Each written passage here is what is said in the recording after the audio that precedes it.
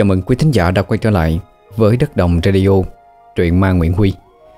Trong buổi tối phát sóng cuối tuần ngày hôm nay, mời quý thính giả cùng nghe tiếp chặng hành trình của cậu Pháp Sư Phan Khang qua những sáng tác của Phan Thanh An. Chúng ta đã đi đến phần kế cuối rồi. Phần này và phần sau sẽ là phần cuối. Đền Thiên Địa Mạch. Xin mời quý thính giả cùng lắng nghe.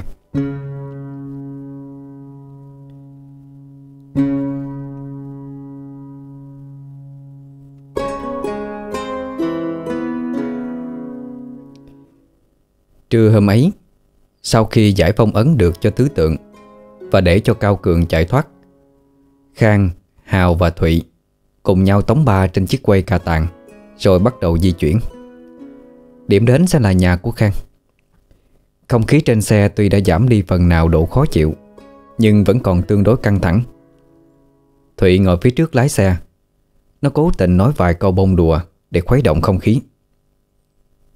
Về được tới nhà Khang là khỏe rồi đó. Cài ái đêm qua tới giờ đuối quá rồi còn gì. Mà mày tính ở nhà chơi với ba má mấy ngày vậy Khang? Khang không đáp ngay. Ánh mắt cứ nhìn vào đỉnh núi, Nơi có trấn long mộc, Không rời. Chính nơi đó là nơi Mỹ Dung đã hy sinh bản thân mình Để mà cứu cậu. Càng nhớ đến càng khiến cho Khang đau lòng hơn. Cậu gạt nhanh nước mắt đang sắp chảy ra trên mi, Mà đáp. Tầm một hai ngày, Để tao từ biệt họ hàng thôi. Xong xuôi mọi chuyện rồi á, Mình sẽ đi xuống tháp nhạn ngay lập tức. Thụy không hỏi nữa. Hào cũng không nói gì. Chỉ biết ngắm nhìn quang cảnh xung quanh. Lát sau khi ba đứa dừng xe xuống nghỉ ngơi hút điếu thuốc, Thì đột nhiên điện thoại của Khang trung lên. Mở máy lên, Thì phát hiện người gọi đến là mẹ của Mỹ Dung. Nó quay sang Thụy và Hào. Để ra hiệu giữ im lặng, Rồi ấn nút nhận cuộc gọi. Dạ con nghe nè cô. Lâu quá cô mới gọi điện cho con ha. Âm thanh phát ra trong điện thoại, Đáp lại lời của Khang. Mẹ của Mỹ Dung nhìn sát vào camera, Rồi nói, Khang đó hả con? Dung nó có ở chỗ con không? Sao qua nay cô gọi nó hoài không được? Khang phút chốc tái mặt trước câu hỏi của mẹ vợ tương lai. Nhưng bây giờ mà nói ra sự thật Mỹ Dung đã chết. Không biết bà ấy sẽ sốc đến mức nào. Còn chưa kể là những hệ lụy theo phía sau. Cứ như vậy kéo theo không xiết. Mà trả lời không khéo Thì mẹ của Mỹ Dung sẽ sinh nghi ngay. Biết đâu lại đem chuyện con gái mất tích Đi báo cơ quan chức năng cũng không chừng. Nếu thật sự chuyện đến nước như vậy thật Thì cả ba đứa Khang, Thụy và Hào đều bị liên đới. Không khéo vô tù bốc lịch cả đám. Hào và Thụy cũng hiểu được mức độ nghiêm trọng của vấn đề Nên cũng cảm thấy căng thẳng không kém. Khang vẫn cố tỏ ra bình tĩnh. Nó chậm rãi đáp. Um, Mỹ Dung đang nhà con đó cô. Tại uh, con có công chuyện gấp cần về quê giải quyết Cho nên uh, cô ấy đội đi theo. Con để Dung ở nhà với mẹ con rồi. Điện thoại của em ấy thì quên trên máy bay. Chắc là bị ai đó lấy mất rồi đó cô. Còn con uh, đang đi công chuyện ngoài đường. Vậy đó hả? Vậy mà làm cô lo quá. Thôi mất điện thoại cũng không có sao. Khi nào con về á, Con gọi cho cô để cô dặn nó ít chuyện nha. Sợ tánh nó dụng về. Không khéo anh chị ngoài đó lại quở thì khổ. Cô cứ yên tâm đi. Ba má con dễ lắm, Không có khó gì đâu. Hiện tại à, con mắc công chuyện ngoài đường, Không có nói lâu được. Khi nào con về tới nhà con gọi cho cô sau nha. Dạ con chào cô. Vừa tắt máy xong, Toàn thân ba đứa không hẹn Mà đều toát mồ hôi lạnh. Khang lắc đầu thở dài một cái, Rồi bước lên xe cầm lái. Nó nói Chuyện này bắt đầu không đơn giản rồi. Thôi lên xe đi, Để tao thầu đi cho lẹ. Thụy với Hào cũng leo lên xe theo. Thụy gãi gãi vai Khang, Ấp úng hỏi nhỏ, Bây giờ sao đây mày? Mỹ Dung chết rồi còn đâu mà gọi được. Hào cũng thắc mắc. Có cách nào uh, che mắt cái chuyện này lại không? Chứ e là Chỉ còn có một cách thôi. Chính là Mỹ Dung sẽ là người video call cho mẹ em ấy. Tao đổi ý rồi. Tụi mình không có về nhà tao nữa. Phóng thẳng xuống tháp nhạn luôn đi. Lần này phải giải cứu cho được phụng thần Thì mới có cơ hội phục sinh cho Mỹ Dung. Nhưng mà lỡ không được thì sao? Không được thì ba thằng chết hết chứ sao? Hối ngộ không à? Bộ mày nghĩ là Cao Cường sẽ dễ dàng bỏ qua cho tụi mình sao? Thụy im bặt. Tự dưng trong lòng nó lại xuất hiện một nỗi lo sợ, Không thể nói tên. Cao Cường đã chạy thoát một lần rồi. Nên đối với hắn, Việc phòng thủ phụng tượng Sẽ phải càng chắc chắn hơn nữa. Long tượng vốn đã khó tìm. Nay vô tình để hổ được về rừng, Thì e rằng phụng tượng lại càng không dễ đối phó. Tuy không cần quay đầu nhìn lại Nhưng Khang cũng thừa hiểu được nỗi sợ trong lòng của Thụy. Nó mở lời trước. Nếu mày sợ á Thì lát tao chở mày tới bến xe Nam Tiêu Hòa Rồi tự bắt xe vô trong đó lại nha. Thụy nghe Khang nói như vậy Không khác nào đang xem thường mình Là một kẻ nhát gan. Nó đập mạnh vai Khang rồi đáp. Mày nghĩ tao là loại người tham sống sợ chết vậy hả? Mặc dù tao có nhát gan thiệt nhưng mà không phải cái hạng bỏ rơi bạn bè như mày nghĩ đâu. Có gì mà sợ? Tôi đi với mày. Nhưng mà dù có sống sót qua lần này, Thì cũng còn hai lần sau nữa. Lân tượng và quy tượng cũng chưa được giải khai. Mày nhắm theo nổi không? Hào ở phía sau đột nhiên bật cười. Chân Long đừng có quá lo. Vấn đề lân tượng á, Tôi đã giải quyết xong rồi. Bây giờ chúng ta chỉ cần lo chuyện quy tượng với phụng tượng nữa thôi. Sao Ông quá giải cho lân thần rồi hả? Thật không? Hào ừ một tiếng để xác nhận. Khang và Thụy đều cảm thấy bất ngờ trước thông tin này. Liền hối thúc Hào kể rõ đầu đuôi. Nó cũng không chút giấu giếm Đành thực tình kể lại. Chỉ có thể tóm tắt câu chuyện như sau. Môn phái của Hào nhận được tin Có một đám hắc hổ bang Đang chuẩn bị thực hiện một âm mưu bất chính gì đó Ở núi Thành, Nghệ An. Cho nên trưởng môn liền lập tức cử một tớp đệ tử khoảng 50 người xuống. Dò theo tung tích mà truy bắt. Sau khoảng 5 ngày lần mò điều tra theo dõi, Thì Hào cùng với huynh đệ đồng môn Cũng bám theo chân bọn nó Lên được núi Thành Và phát hiện được âm mưu đem bức tượng lân thần Về cho Cao Cường xử lý. Thế nhưng biến số lại xảy ra. Hào cùng huynh đệ của mình nghe được, Đám hắc khổ bang biết lai lịch và sức mạnh thực sự của lân thạch. Khiến cho kẻ nào cũng thèm khát. Bọn chúng bảo nhau, Chân lân này chưa có truyền nhân, Mà hễ kẻ nào tìm được lân thạch Rồi nhận máu hóa giải lân tượng Thì sẽ trở thành truyền nhân của lân thần, Thực lực vì thế mà cũng đại tăng. Thế là cả đám hắc khổ bang chia nhau ra Tìm kiếm lân thạch. Vì vốn biết nó chứa ẩn sức mạnh Và nguồn cơn không thể xem thường, Nhất là đám cầm đầu hắc khổ bang, Kẻ nào cũng muốn có được viên lân thạch và nguồn sức mạnh đó. Nắm được tình hình Quân đệ đồng môn của Hào liền tản ra bao vây tứ phía ngay. Một cuộc chiến nhỏ diễn ra giữa hai phe chánh tà. Đồng môn của Hào đuổi đánh đám hắc hổ bang vô tới tận rừng. Cuộc chiến nhìn chung rất là hỗn loạn. Cho đến khi có một tên tay sai của hắc hổ bang, Trên tay cầm một viên ngọc màu vàng Sáng lấp lánh, Chạy ra giữa đám đông mà hét lớn, Dừng tay! Ta đã tìm được lân thạch rồi. Cũng chính từ giây phút đó, Thì trận chiến không còn là cuộc chiến chính tà nữa, Mà trở thành một cuộc loạn đả chém giết lẫn nhau Để tranh giành cho bằng được Viên lân thạch quý giá kia. Cảnh huynh đệ tương tàn, Đồng môn chém giết lẫn nhau đã khiến cho Hào cảm thấy sốc. Cậu không tin được những gì đang diễn ra trước mắt mình. Hào dần dần đứng ngoài và không tham gia vào những màn tàn sát khốc liệt kia. Hãy viên linh thạch rơi đến tay ai, Thì kẻ đó sẽ là mục tiêu số một Của tất cả những kẻ còn lại. Đến nỗi kẻ nào cầm viên linh thạch trong tay, Cũng đồng nghĩa với việc cầm chắc cái chết. Cuộc loạn chiến diễn ra suốt cả đêm hôm đó. Cuối cùng chỉ còn lại hai vị sư huynh của Hào sống sót mà thôi. Và dĩ nhiên, Cả hai người đó, Ai cũng đều có giấc mơ quyền lực. Viên lân thạch tạm thời rơi vào tay của nhị sư huynh. Tiếp tục lại là một trận chiến sinh tử nữa. Hào ở bên ngoài liều sống liều chết ngăn cản hai người họ, Nhưng bất thành. Thậm chí còn bị họ đánh cho trọng thương. Biết là không thể ngăn cản, Cậu chỉ đành ngồi bên gốc cây xem kết quả mà thôi. Hào may mắn được lân thần giúp đỡ trị thương, Cho nên mới sống nổi. Cũng chính lân thần là người mách nước, Ám sát hai người kia. Để đoạt lại viên lân thạch. Nhưng cậu không đồng ý. Dù sao thì Hào cũng không thể hành động lỗ mãn Và bị ổi đê tiện như vậy được. Nếu làm vậy thì chẳng khác nào Là bọn người chỉ có lợi ích trong mắt kia mà thôi. Hào vốn không có mưu đồ gì đối với viên lân thạch. Nhưng nó hiểu, Nếu viên lân thạch đó rơi vào tay hai vị sư huynh, Đang có giả tâm mưu cầu quyền lực và sức mạnh, Thì hậu quả sẽ rất khó lường. Cậu ta muốn đứng ra tranh giành viên lân thạch. Cũng là vì muốn cứu nhân gian, Có thể tránh khỏi một trường đau thương tan tóc.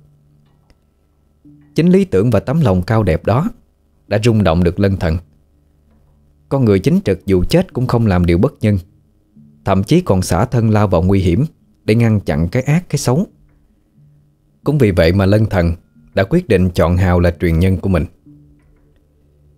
Đúng như Hào dự đoán Nhị sư huynh không phải là đối thủ của đại sư huynh. Một cái chết thống khổ là điều có thể thấy được từ trước. Nhưng lúc đại sư huynh không còn phòng bị, Hào đã cướp lấy viên lân thạch Và leo lên miệng của lân tượng, Chui vào bên trong lẫn trốn. Đại sư huynh vì muốn cướp lại viên lân thạch Đã bị Hào đánh cho trọng thương. Thế nhưng Hào cũng không dễ dàng gì. Khi chạy xuống Thì lại bị hắn phục kích. Trong giây phút cận kề cái chết Hào liều mình nuốt luôn viên lân thạch vào bụng. Và vô tình thức tỉnh được sức mạnh chân lân. Từ đó mà đảo ngược thế cờ, Và chiến thắng được đại sư huynh Nhờ loại sức mạnh mới. Có điều sau khi thức tỉnh sức mạnh chân lân, Hào đã cố ép chính Để có thể hồi sinh lân tượng. Tuy là thành công, Nhưng hậu quả cũng vô cùng lớn. Hào sẽ không còn có thể hóa thành chân lân dạng một lần nào nữa. Và tu vi của bản thân cậu cũng không thể tăng tiến Do tác dụng phụ của việc cưỡng ép thi triển pháp thuật gây ra. Nghe xong câu chuyện của Hào, Khang và Thụy đều gật gù cảm thán. Thụy tỏ ra thông cảm mà động viên. Tôi hiểu sao ông phải đánh lén rồi. Đạo hạnh không tăng được nữa. Muốn tồn tại buộc phải dùng cách vậy thôi. Kể cũng tội. Thôi ờ, tôi xin lỗi chuyện hồi sáng nha. Thì tôi có trách gì ông đâu. Chuyện này cũng khó tránh mà. Khang thì khác hơn Thụy. Đột nhiên nó nhận ra có điểm gì bất thường Trong câu chuyện của Hào. Bèn hỏi, Ê Trần Lân, Ông nói là khi nuốt lân thạch vô bụng Thì mới bộc phát được sức mạnh, phải không? Ừ. À có điều tôi quên kể, Là do tôi không có được thừa hưởng chân quyết, Giống như cậu với Mỹ Dung. Thế nên là viên lân thạch giống như là trái tim của tôi vậy. Chỉ cần lấy nó ra thì sức mạnh của tôi tự nhiên mất hết rồi. Nói đến đây, Khang lại nhớ thêm một chuyện nữa. Sau khi hồi sinh long tượng xong, Thì viên long thạch cũng dần dần thấm vào tay cậu, Mà biến mất đi. Cảm giác khi đó chính là bản thân Khang Cũng thấy mình đột nhiên khỏe hơn rõ rệt, Giống như sức mạnh của mình được tăng lên vậy. Như Hào nói, Thì các viên linh thạch Chủ sở hữu có thể tự do lấy ra thu vào. Khi lấy ra thì sức mạnh giảm sút. Đột nhiên trong đầu Khang có một suy nghĩ táo bạo. Nó khẽ cười. Hey, Mập, Chân lân. Nếu như suy đoán của tao không sai Thì chỉ cần tìm được phụng thạch, Rồi cho Mỹ Dung nuốt vô, Là cô ấy có thể sống lại được rồi. Phải không vậy ba? Sao nghe giống giống củ chuyển hoàng Hồng đan của Thái Thượng Lão Quân quá vậy? Thụy ngờ vực hỏi. Nhưng lời Khang nói không phải là không có lý. Chính bản thân Hào là một ví dụ. Khi từng xém bị đại sư huynh đánh chết, Nhờ nuốt viên lân thạch Mới có thể tiến cảnh Và lật ngược lại thế cờ. Hào suy nghĩ một lát rồi nói, Khang à Nếu như cái viên phụng thạch có thể giúp vợ cậu sống lại Thì tôi e rằng đó cũng không phải là một mạng sống hoàn hảo. Chắc cậu cũng hiểu những gì tôi nói mà phải không? Nếu như phụng thạch rời khỏi cơ thể của Mỹ Dung Thì ờ, Khang lặng người đi một chút. Trong lòng hiện lên một thứ cảm xúc khó tả không nguôi. Thần vốn là nguyên khí phụng thần chuyển sinh, Mà chỉ có một cuộc sống tạm bợ. Như vậy thì quả thật là không đáng. Nhưng nói cho cùng, Thì Khang cũng như cả nhóm, Không còn nghĩ ra được bất kỳ một cách Hay một giả thuyết nào có vẻ khá khẩm hơn. Thậm chí việc sống lại nhờ nuốt phụng thạch Đối với Mỹ Dung Cũng là một điều rất thành công rồi. Chưa thử Thì mọi kết quả vẫn còn đang bỏ ngỏ Và vẫn còn có một tỷ lệ thất bại tương đối. Khang kéo ga lên để tăng tốc. Nó bậm môi nói, Có thêm một mạng là được rồi. Cần thiết gì có tạm bỡ hay là không? Chúng ta cũng đâu thể sống vĩnh hằng trên cuộc đời này mãi chứ. Khỏi phải nói Cá Thụy và Hào cũng đều thấy được sự quyết tâm rất lớn Tỏa ra từ ý chí của Khang. Bây giờ cả ba đứa không còn có bất cứ sự lựa chọn nào nữa. Nay mai mà Mỹ Dung không sống lại Và gọi điện cho mẹ cổ, Thì coi như cả ba đứa sẽ có ngay một vé Vô trại giam lãnh cơm hộp. Lúc đó thì có đem chuyện đánh nhau, Giải cái tứ tượng gì gì đó ra nói, Thì có đánh mút mùa, Cơ quan chức năng cũng không thèm tin. Thậm chí còn khép ba đứa thêm tội tuyên truyền mê tín dị đoan nữa. Trên suốt chặng đường đi đến thành phố Tuy Hòa Thụy càng cảm thấy trong người có chút gì đó lạ lạ. Cảm giác giống như là có một cảnh báo nguy hiểm vậy. Nó nhận thấy rằng ở khu vực Tháp Nhạn vốn là địa điểm du lịch, di tích văn hóa lịch sử Đang ẩn chứa một thứ gì đó cực kỳ khủng bố. Thậm chí mức độ nguy hại còn lớn hơn long tượng rất nhiều. Thụy không dám nói với hai người còn lại. Vì sợ bọn họ chê mình nhát gan, Rồi đòi đuổi về. Nhưng không nói cũng không được. Nó ầm ờ nhìn lên núi, Rồi bảo, Ê Ờ Hai người nhớ cẩn thận á. Sao tao thấy ở đây nó còn ghê hơn trên cao nguyên Vân Hòa nữa? Không hiểu sao tao lại có cảm giác như vậy nữa. Khang đem xe gửi ở nhà dân dưới chân núi, Rồi đáp đó chính là khả năng nhận biết nguy hiểm của một pháp sư đó. Xem ra mày cũng dần quen với cái thứ cảm giác mới đó rồi. Thôi đi lên thôi. Ba đứa bước đi thành một hàng ngang. Bây giờ là giữa trưa, Nên hầu như không có bất cứ một khách tham quan nào. Những giác quan trong người của họ Đều đã mở ra hết.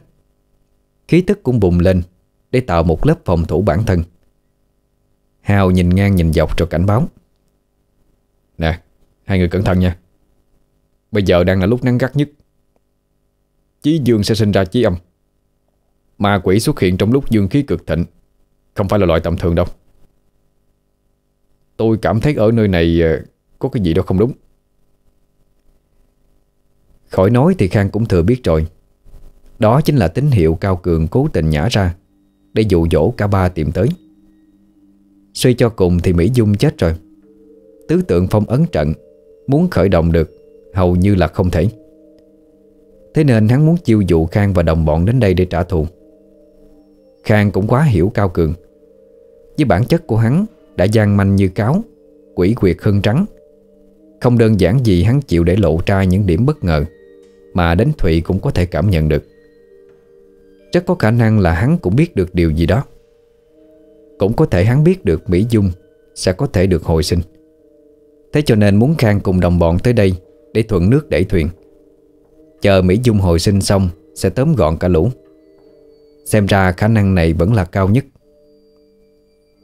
Biết là vậy, Nhưng Khang vẫn giả vờ ngờ nghệch không biết gì, Và có phần tỏ ra chủ quan Để cho tên Cao Cường có nắp tại một nơi nào đó Cũng không nghi ngờ. Ờ thì trên này có ngôi đền bị che giấu mà. Có thể tụi mày cảm nhận được khí tức từ nó phát ra cũng nên. Không có gì đâu. Nhiệm vụ của tụi mình á, là tìm ra nó càng sớm càng tốt. Dĩ nhiên Thụy và Hào đều không biết là Khang diễn, Nên bọn nó cũng không dám có chút sơ hở nào. Mắt âm dương, Lân nhãn, lông nhãn, Tất cả đều được mở lên để quan sát. Nhìn tới nhìn lui, Ngó ngang ngó dọc một hồi, Nhưng chẳng có gì lạ. Chỉ thấy leo từ chân núi lên đến ngọn núi Là quá mệt mà thôi. Khi leo vừa lên tới nơi tay Thụy bám vào thành lan can gần đó Mà thở như chó lẹ lưỡi. Hào thì trông khá bình thường. Khang thì đi nhiều Nên đâm ra cũng đã quen. Tính ra tháp nhạn đi tới đi lui Chắc cũng trên dưới cả chục lần. Lần nào cũng là dẫn khách tham quan Mà cũng không có mấy ấn tượng. Nó gần như đã quen thuộc đến từng ngóc ngách, Từng viên đá cành cây ở nơi này. Mấy lần trước tới đây mặc dù cũng là pháp sư nhưng lại không thấy có gì lạ. Riêng lần này, Thì có một thứ cảm giác nôn nao khó tả. Long hồn trong người Cũng hiểu được nỗi lòng của Khang, Liền cất tiếng nói. Đó là do mấy lần trước cậu chưa khai mở sức mạnh của chân long trong người. Nhưng bây giờ thì lại khác. Thứ cảm giác bồn chồn nôn nao đó, Cậu cũng như Hào. Đó chính là lời cầu cứu của Phụng Tượng Đang gửi đến hai người đó. Cầu cứu sao? Phải rồi. Tứ tượng và các truyền nhân của tứ tượng Đều có thần giao cách cảm mà. Nó còn mạnh hơn cả tâm ý tương thông của tôi và cậu nè. Việc Phụng Tượng gửi lời cầu cứu Không loại trừ khả năng Có sự nhúng tay của tên cao cường kia. Nghe Long Hồn giải thích xong, Khang đột nhiên cảm thấy lạnh cả sống lưng. Không lẽ Cao Cường đang hành hạ Phụng Tượng hay sao? Mà Phụng Tượng chính là phần liên kết với Mỹ Dung. Cô ấy hẳn cũng đang đau đớn. Khốn nạn thật. Khang siết chặt lòng bàn tay, Rồi lại đấm mạnh vào vách của tháp nhạn. Thụy trông thấy thế thì la oai oái lên. Ê, bậy nghe mày. Không có được làm tổn hại tới di tích quốc gia. Muốn ăn cơm nhà nước hả? Vì giận quá Mà Khang đã có một hành động lỗ mãn Không đúng chừng mực. Nhưng đó cũng là hành động thể hiện sự bất lực của nó Trước việc tìm ra ngôi đền Đang bị che giấu kia. Thụy ngoắt tay kêu cả ba vào trong bóng trăm đứng. Hào liền đưa cho Khang chai nước, Rồi bảo, Cậu có thể dùng du nhập thần thức Để hỏi cỏ cây xung quanh mà, Phải không? Khang có chút bất ngờ, Không hiểu sao Hào lại biết được cả chiêu thức của mình. Hào cũng không giấu giếm mà nói luôn là lân thần chỉ cho tôi biết á. Ông ấy kể rằng tứ tượng phong ấn trận Đã bị phá một lần từ một ngàn năm trước Bởi hai người pháp sư trẻ tuổi rồi. Là anh với một người nữa tên là Lăng Quân. Cái tên Lăng Quân lại được gọi lên. Lần này là do lân thần kể lại cho Hào, Chắc là không sai được. Khang và Thụy tiếp tục nhìn chăm chăm Ra hiệu Hào kể tiếp. Anh nói Lân thần bảo ờ, tứ tượng phong ấn trận. Chỉ có hai người bọn anh là có thể giải được. Nhưng bây giờ Lăng Quân đã du nhập vào tà giới Để thực hiện sứ mệnh của riêng mình rồi. Việc của tứ tượng phong ấn trận bây giờ chỉ còn cách trong cài doanh thôi. Ba truyền nhân còn lại chủ yếu là hỗ trợ. Thụy nghe nhắc tới quân, Hai mắt liền sáng lên. Nó vỗ tay kêu lớn. Ê, Vậy là cái thằng nhóc đó chưa chết. Có khi nào nó sẽ quay lại? Rồi giúp tụi mình tiêu diệt tên Cao Cường. Giống như cái tên Cao Biền hồi đó không? Chắc là không đâu. Tụi tao đều có sứ mệnh của riêng mình hết. Chưa kể là không biết khi nào Nó sẽ tự tạ giới trở ra. Tại sao cứ phải trông chờ người khác tới giúp đỡ công việc của mình chứ? Thụy nghe tới sứ mệnh mà trong lòng nó Chợt gợi lên một thứ lớn lao. Bất giác nó hỏi, Vậy sứ mệnh của tao là gì? Chỉ cần là một pháp sư tốt tính thiện lương ác ông trời cũng giao việc cho mày thôi. Mà không có nói nhiều nữa. Giờ tao sẽ du nhập thần thức Để hỏi cây cỏ xung quanh. Phiền hai người cảnh giới và bảo vệ cơ thể giúp tôi. Bắt đầu ạ. Thần Long Thuật, Du nhập thần thức. Mở. Khang ngồi xuống dưới nền, Rồi xuất hồn ra khỏi cơ thể. Nguyên hồn của cậu phân ra thành cả ngàn mảnh tinh phách, Rồi lan tỏa đi khắp xung quanh. Gặp cây hỏi cây, Gặp lá hỏi lá. Cả đất đá, cỏ hoa bên dưới cũng không ngoại lệ. Thụy thì ngồi ngay bên cạnh để canh phòng cho chắc. Còn Hào thì cảnh giới xung quanh Để xem có kẻ địch nào hay không. Khang hỏi khắp nơi, Nhưng tuyệt nhiên không có chút tin tức nào cả. Qua lá, cỏ, cây đều bảo rằng Tuổi nhỏ không biết được chuyện sâu xa. Khang tự biết là tất cả đang nói dối, Sự thật vẫn còn bị ẩn giấu. Có lẽ sinh vật sống ở đây Cũng không dám nói ra Vì sợ một điều gì đó chăng? Bản thân Khang không thể nào dùng vũ lực Hay đe dọa dùng vũ lực để thu thập thông tin được. Đó vốn không phải là phong thái của Khang. Nhắm không thể nào tìm kiếm được gì. Khang tụ hồn lại, Rồi nhập lại vào thân thể. Cậu từ từ mở mắt ra. Trước mặt là thằng Thụy đang nhìn chầm chầm vào mình. Cậu vỗ trán Thụy một cái, Rồi than Ôi, Chịu thua. Không có ai chịu hé môi đỡ lợi hết Hình như sinh vật ở đây đang bị thứ gì đó uy hiếp. Vô lý vậy. Cây cỏ bình thường nói không biết tao còn tin. Chứ cả một cái quả đồi núi gì Đất đá nằm ở đây cả dạng năm rồi. Chẳng lẽ không biết sao? Hào đáp thay lời Khang. Biết. Nhưng mà tất cả bọn chúng đều không dám nói ra. Chân lông à Vậy còn cách nào hay không? Đã thế thì chỉ có nước gọi thổ địa lên hỏi thẳng mặt, Thì mới mai ra có câu trả lời thích đáng được. Nghe thấy gọi thổ địa, Không ai dám tin là có thể thực hiện cách này được. Thụy gãi đầu mà kêu, Sao mà gọi thần được? Thánh thì mặt mai. Long hồn trong người Khang lập tức xuất ra ngoài Rồi bảo, Sao lại không được? Hai người bọn họ bây giờ đều là truyền nhân của tứ linh. Tuy chỉ là con người nhưng xét về thân phận, Tuyệt đối không nhỏ hơn tiểu thần như thổ địa được. Chủ nhân à Người cứ thử đi. Khang không nói gì, Lấy ra một đạo hắc phù cầm trên tay Rồi niệm chúng Bao sơn phù môn, Triệu hồi phù thổ địa công. Khai. Đạo hắc phù phóng ra một chùm ánh sáng, Rồi thấm thẳng vào trong lòng đất. Chỉ một lát sau, Thì xuất hiện một thân ảnh đang lập lò dưới đất chui lên. Đó chính là thổ địa Mà cả nhóm đang cần tìm. Hình như ông ấy cũng không muốn lên. Đến khi Khang bước đến Rồi dùng định lực kéo ông lên Ông mới chịu hiện thân hoàn toàn. Vừa thấy nhóm của Khang Thổ địa liền chắp tay khom lưng.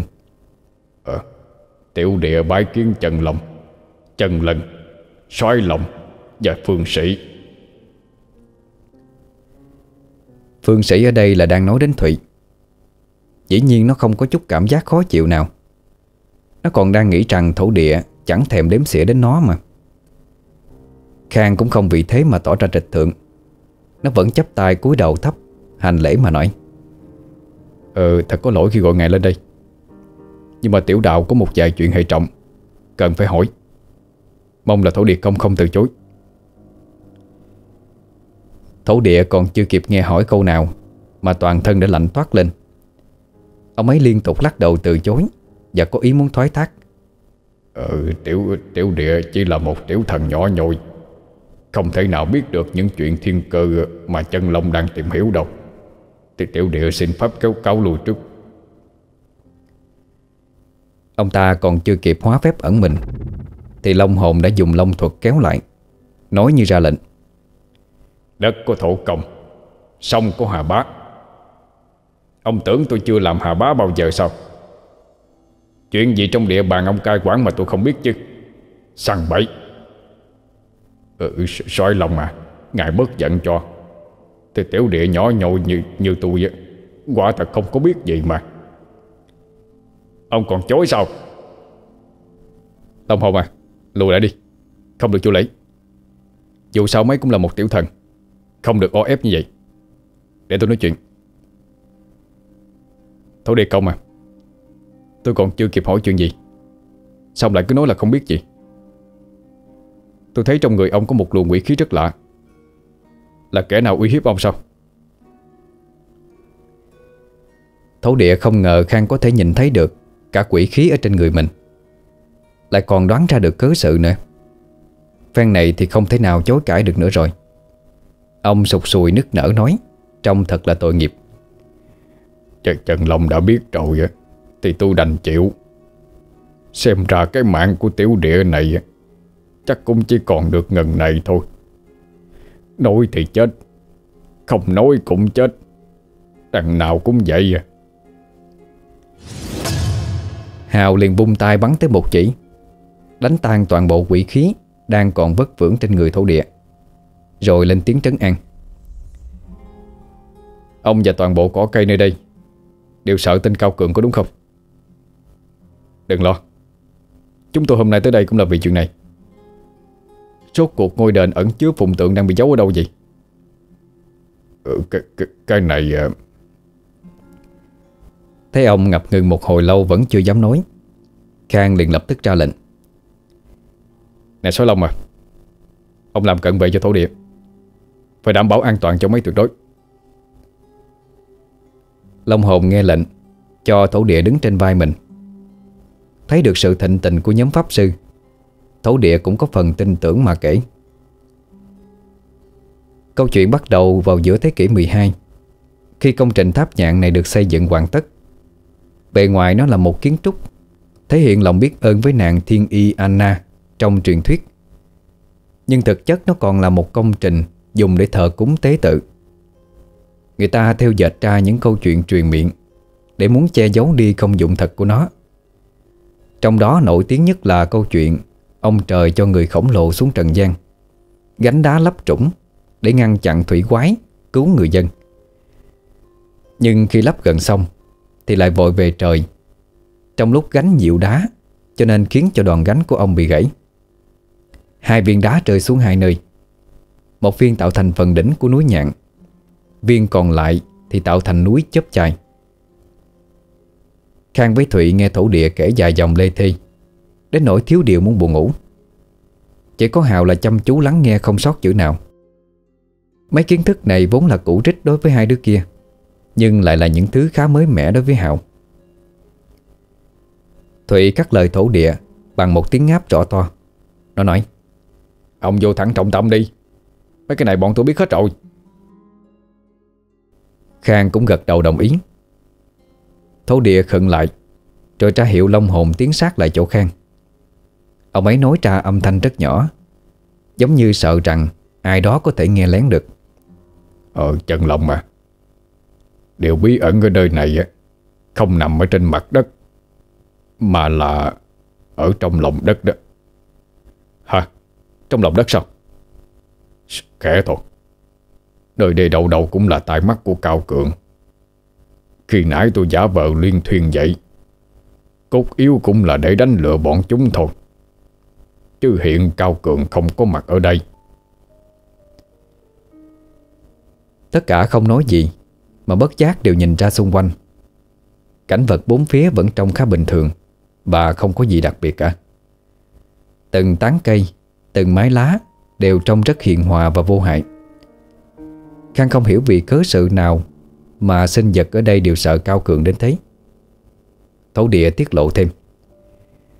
Hắn dọa nếu mà kẻ nào dám nói ra bí mật bên dưới tháp nhạn Thì hắn sẽ quỷ diệt hết toàn bộ quả núi này ngay lập tức.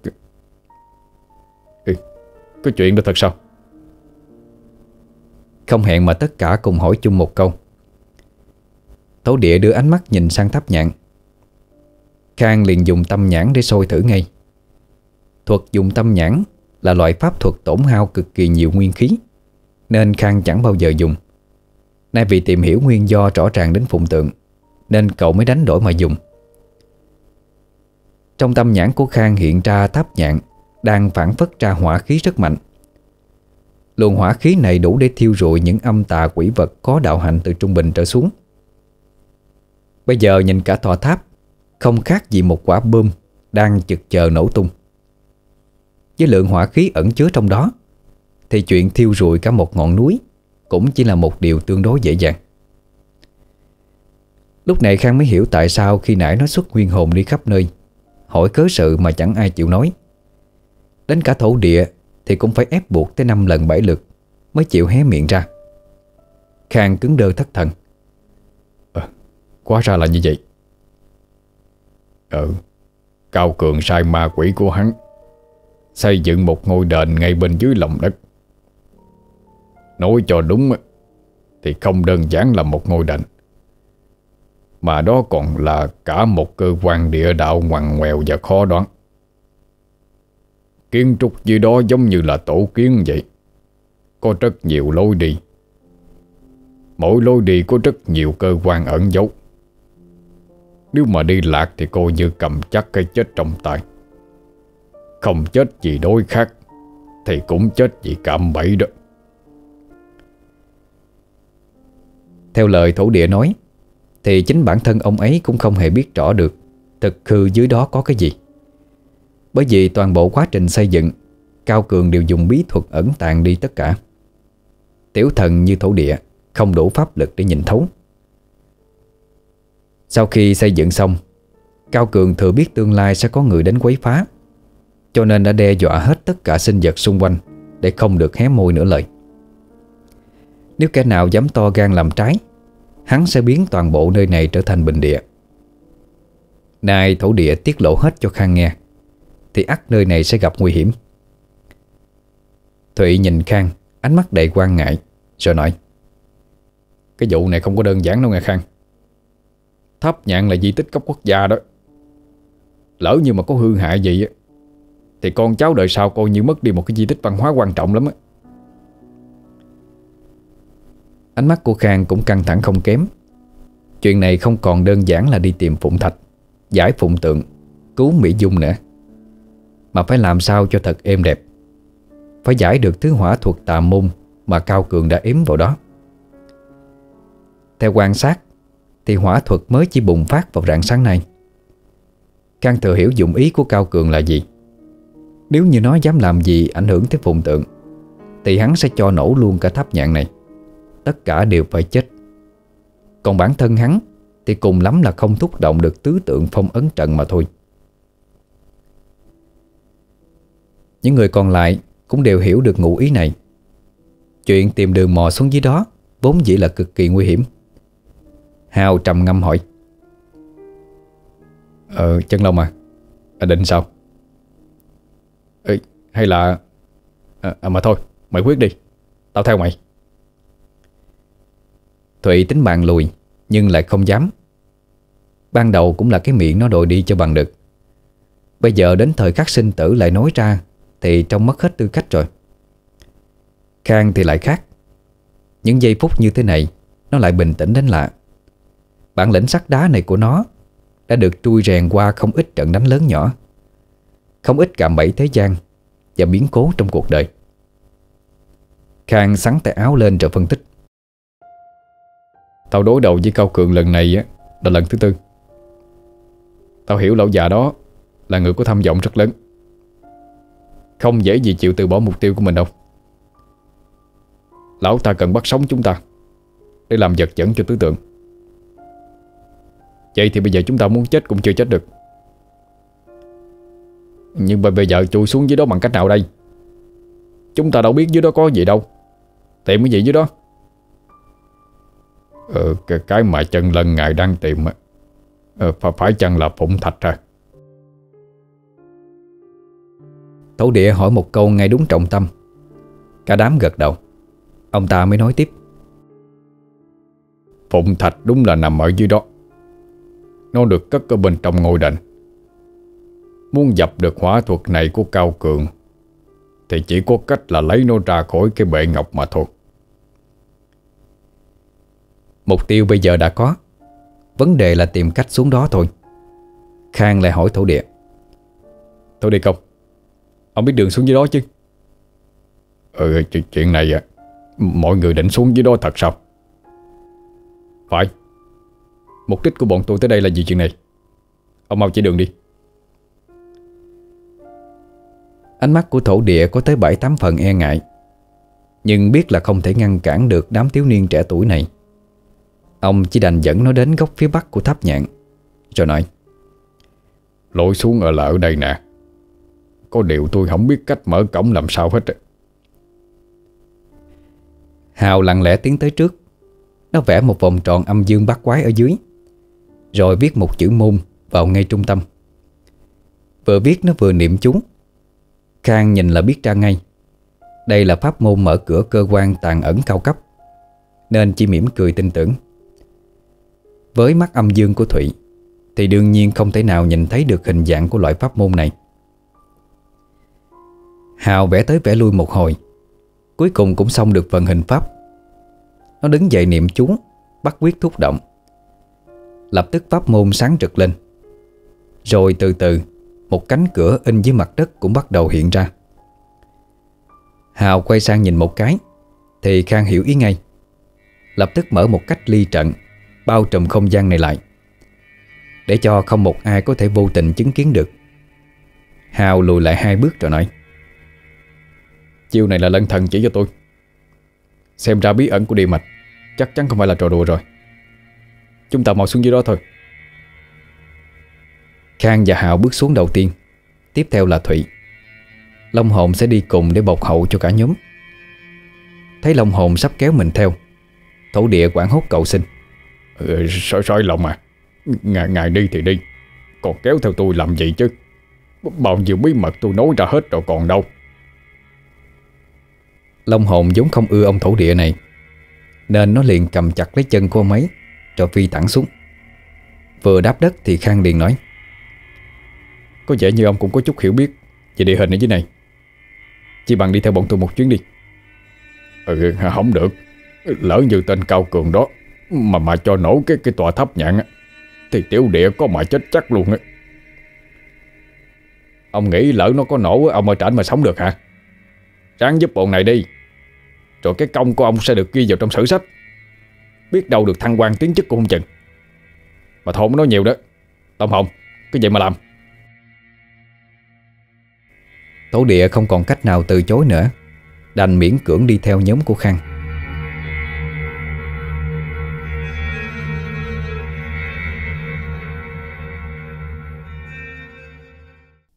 Bước xuống dưới này, Điều đầu tiên mà Khang cảm thấy được là nóng. Hơi nóng này không phải tầm thường. Mà là do viên phụng thạch phát ra. Điều đó có nghĩa là chỉ cần đi theo nguồn xuất phát Thì sẽ tìm được phụng thạch. Khó khăn bây giờ cũng vì vậy mà bắt đầu. Địa đạo chia ra làm hai lối. Cả nhóm không biết chọn hướng nào để di chuyển. Hỏi thổ địa Thì thổ địa cũng bảo không biết, Nên đành chọn đại phía trước mà tiến lên. Trong lòng thì luôn luôn cảnh giác, Không biết không gian dưới này sẽ có những gì. Khang và Hào cũng hóa thành dạng Á Long và Bán Lân Để đi trước bảo vệ. Toàn bộ các pháp nhãn đều đã được mở ra. Đối phó với Cao Cường Không phải là một chuyện dễ dàng. Thế cho nên không được kinh xuất một khoảnh khắc nào cả, Cho dù là điều nhỏ nhất. Bằng con mắt tinh tường của mình, Khang và Hào đã nhìn thấy không ít cạm bẫy ở trước mặt. Khang giơ tay ngăn lại Kẻ nói, Tất cả chú ý Số 7 phía trước. Không cần phải phá, hay vô hiệu quá làm gì. Cứ tránh nó ra là được. Tránh bước dây động rừng. Hiểu chưa? Ừ nhưng mà Khang à Mắt âm dương của tao không có nhìn thấy. Long hồn ở bên cạnh liền nói. Leo lên lưng tôi cổng đi cũng được. Mắt âm dương không nhìn thấy được những thứ đó đâu. Thụy đành leo lên lưng cho Long hồn cổng đi. Đội hình cứ như vậy mà thẳng một hàng mà tiến. Đi được một đoạn dài, Cuối cùng cũng gặp được lối rẽ đầu tiên. Cả nhóm lại tiếp tục phân vân Không biết phải đi theo hướng nào. Khang liền gọi bốn vị quỷ vương ra ngoài, Rồi lệnh cho một vị đi vào đường đó Để mà dò xét thử. Còn bọn họ sẽ tiếp tục đi thẳng xem sao. Cứ như thế, Cả nhóm gặp thêm ba ngã rẽ nữa. Ba vị quỷ vương còn lại Cũng được cử đi dò đường. Lúc này Thụy được cổng trên lưng Nên nó có nhiều thời gian để quan sát. Nhận thấy hình như có điều bất thường. Nó nói Ê, khoan đã khoan Mày thấy cái đường đi nó hơi cong không? Dĩ nhiên là Khang thừa biết. Nó giống nhận ra từ nãy tới giờ rồi Nhưng vẫn chưa nói ra. Đi thêm một đoạn nữa Gặp một lối rẽ thứ năm. Lúc này Hào mới nói Chúng ta vừa đi hết một vòng Chỗ có ánh sáng kia Chính là lối vào lúc nãy đó. Xem ra là bị lão già đã đánh đố rồi. Chỉ còn cách đi vào cái lối trẻ này mà thôi. Cái này hình như là thiết kế từ dạng tổ chim. Ngoài to trong nhỏ. Điện thờ chắc chắn nằm ở trung tâm. Khang nói rồi dẫn cả nhóm tiến vào lối trẻ. Cậu gọi bốn vị quỷ vương lên để hỏi. Các vị có thấy gì lạ hay không? Chủ nhân Chúng tôi không thấy gì lạ cả. Hình như lối trẻ này là đường cục đó. Tôi cũng vậy nữa. Cả tôi nữa. Ba trong bốn vị quỷ vương đã hồi âm. Khang đợi vị cuối cùng. Lát sau cũng có tiếng đáp lại. Một giọng điệu nghe chừng khá gấp gáp. Chủ nhân Các huynh đệ Chỗ tôi có hỏa khí mạnh hơn bất thường. Nơi này có vô số cạm bẫy nữa Mọi người phải cẩn thận. Đó là những cơ quan ẩn. Chúng ta không thể chia đội hình ra Mà vào cả năm cửa được đâu, thưa chủ nhật. Còn chưa kịp đáp lại, Thì Khang đã tái mặt Khi nghe phía sau lưng mình có tiếng động phát ra. Một tảng đá lớn đang từ từ di chuyển Và lắp kính lối rẽ vừa rồi. Tất cả đều hiểu ý, Ngay lập tức phóng hết tốc lực về phía ngược lại. Do gấp gáp nên Hào đã vô tình đạp vào một cơ quan mật. Hàng loạt mũi tên tà thuật từ trên tầng cao liên tiếp trút xuống Khiến cho cả nhóm đều bị một phen lao đao khốn cùng. Khang là người nhanh chân ra ngoài được đầu tiên. Nó dùng hết sức đẩy tảng đá ra Câu giờ cho đồng đội. Miệng nói lớn Vị quỷ dương cuối cùng Giữ nguyên vị trí. Còn lại tất cả lập tức ra khỏi đó ngay. Hào cũng nhanh chóng thoát ra Cho phụ Khang một tay chống đỡ Long hồn thì cổng Thụy Mập, Nên đi chậm hơn một chút. Nó ném Thụy ra bên ngoài trước, Cho bản thân luồn lách qua sau. Vừa mai tất cả đều thoát ra ngoài thành công. Nhưng khoảnh khắc tiếp theo Càng làm cho Khang thêm lo lắng. Viên đá sau khi lắp lại lối vào Thì nó cũng đang từ từ ép vào trong. Nghĩa là những lối vào ngõ cụt còn lại cũng tương tự như thế. Không gian xuất hiện rất nhiều tiếng tên bay đạn lạc. Tiếng phép thuật cứ vùng vụt bên tai. Tất cả đều hiểu chuyện gì đang xảy ra Ở những cửa còn lại. Tiếng ba vị quỷ vương Vào trúng phải cửa giả Đang chiến đấu kịch liệt báo tới. Chủ nhân à Cửa đá có phù văn khắc chế. Quỷ hồn không thể đi xuyên qua được. Chúng tôi bị cô lập rồi. Hai vị quỷ vương còn lại đều xác nhận tình cảnh tương tự Vị duy nhất đang đứng ở đúng đường, Thì lại rất nôn nóng muốn cứu huynh đệ của mình. Khang vẫn đủ tỉnh táo mà ngăn chặn ngay. Ngài hãy giữ vị trí ở đó. Bây giờ ra ngoài, Không khéo cửa đá là đóng lại ngay đó. Tôi đang lo nó là cơ quan một chiều. Khi bước ra rồi không vào lại được nữa đâu. Nhưng mà chủ nhật, Còn ba người anh em của tôi. Bọn họ đang, Các dễ đang cố gắng chống đỡ. Tôi và mọi người sẽ đến ngay. Được rồi. Chủ nhân cẩn thận. Thế là Khang cứu một cửa. Hào cũng đến một cửa. Long Hồn và Thụy tìm đến cửa còn lại. Lần này không thể nào nhẹ nhàng được nữa. Khang dùng thiên lý truyền âm Ra hiệu cho đồng đội ngay. Ngoài đánh vào Trong công ra Dùng hết sức Dồn hết lực. Tất cả hiểu chưa? Cùng Long Quyền Tấn cứ như thế mọi người đều dùng toàn bộ sức lực của mình đánh vào. Đúng là không dễ ăn thua. Cho dù Khang đã ở trong dạng Á Long rồi, Nhưng cũng khó lòng làm suy xuyển được. Khang đánh hơn 10 cú đấm vào tường, Nhưng chỉ bị thủng một lỗ nhỏ bé tí, Đủ để nhìn vào trong. Vị quỷ vương nhận được tín hiệu, liền nói, Mọi người phải giải phù văn cho nó mới được, Thì chúng ta mới có thể hợp công. Khang nhìn đóng phù văn ký tự Mà không biết phải giải quyết như thế nào. Đang trong lúc cùng đường bí lối Thì Khang nghe thấy phía đối diện Có tiếng thổ địa kêu. Ờ, ờ dùng phép thuật của tứ linh Đánh vào bốn điểm của viên đá trước đi. Sau đó dùng lực đánh mạnh vào trung tâm. Như vậy sẽ giải được. Tất cả đều y như vậy mà làm ngay. Khang dùng tầm lông chỉ Đánh vào bốn điểm gốc của phiến đá to Sau khi đã thủng một lỗ Thì nó lại dùng cước phi tới Đạp toàn bộ bức tượng đá Bị vỡ ra thành nhiều mảnh. Vị quỷ vương liền vụt tới xông ra Kéo Khang sang một bên mà la lớn. Chủ nhân nằm xuống. Một trận mưa tên từ bên trong bắn ra Độ cao tầm ngang ngực Của những người có mặt.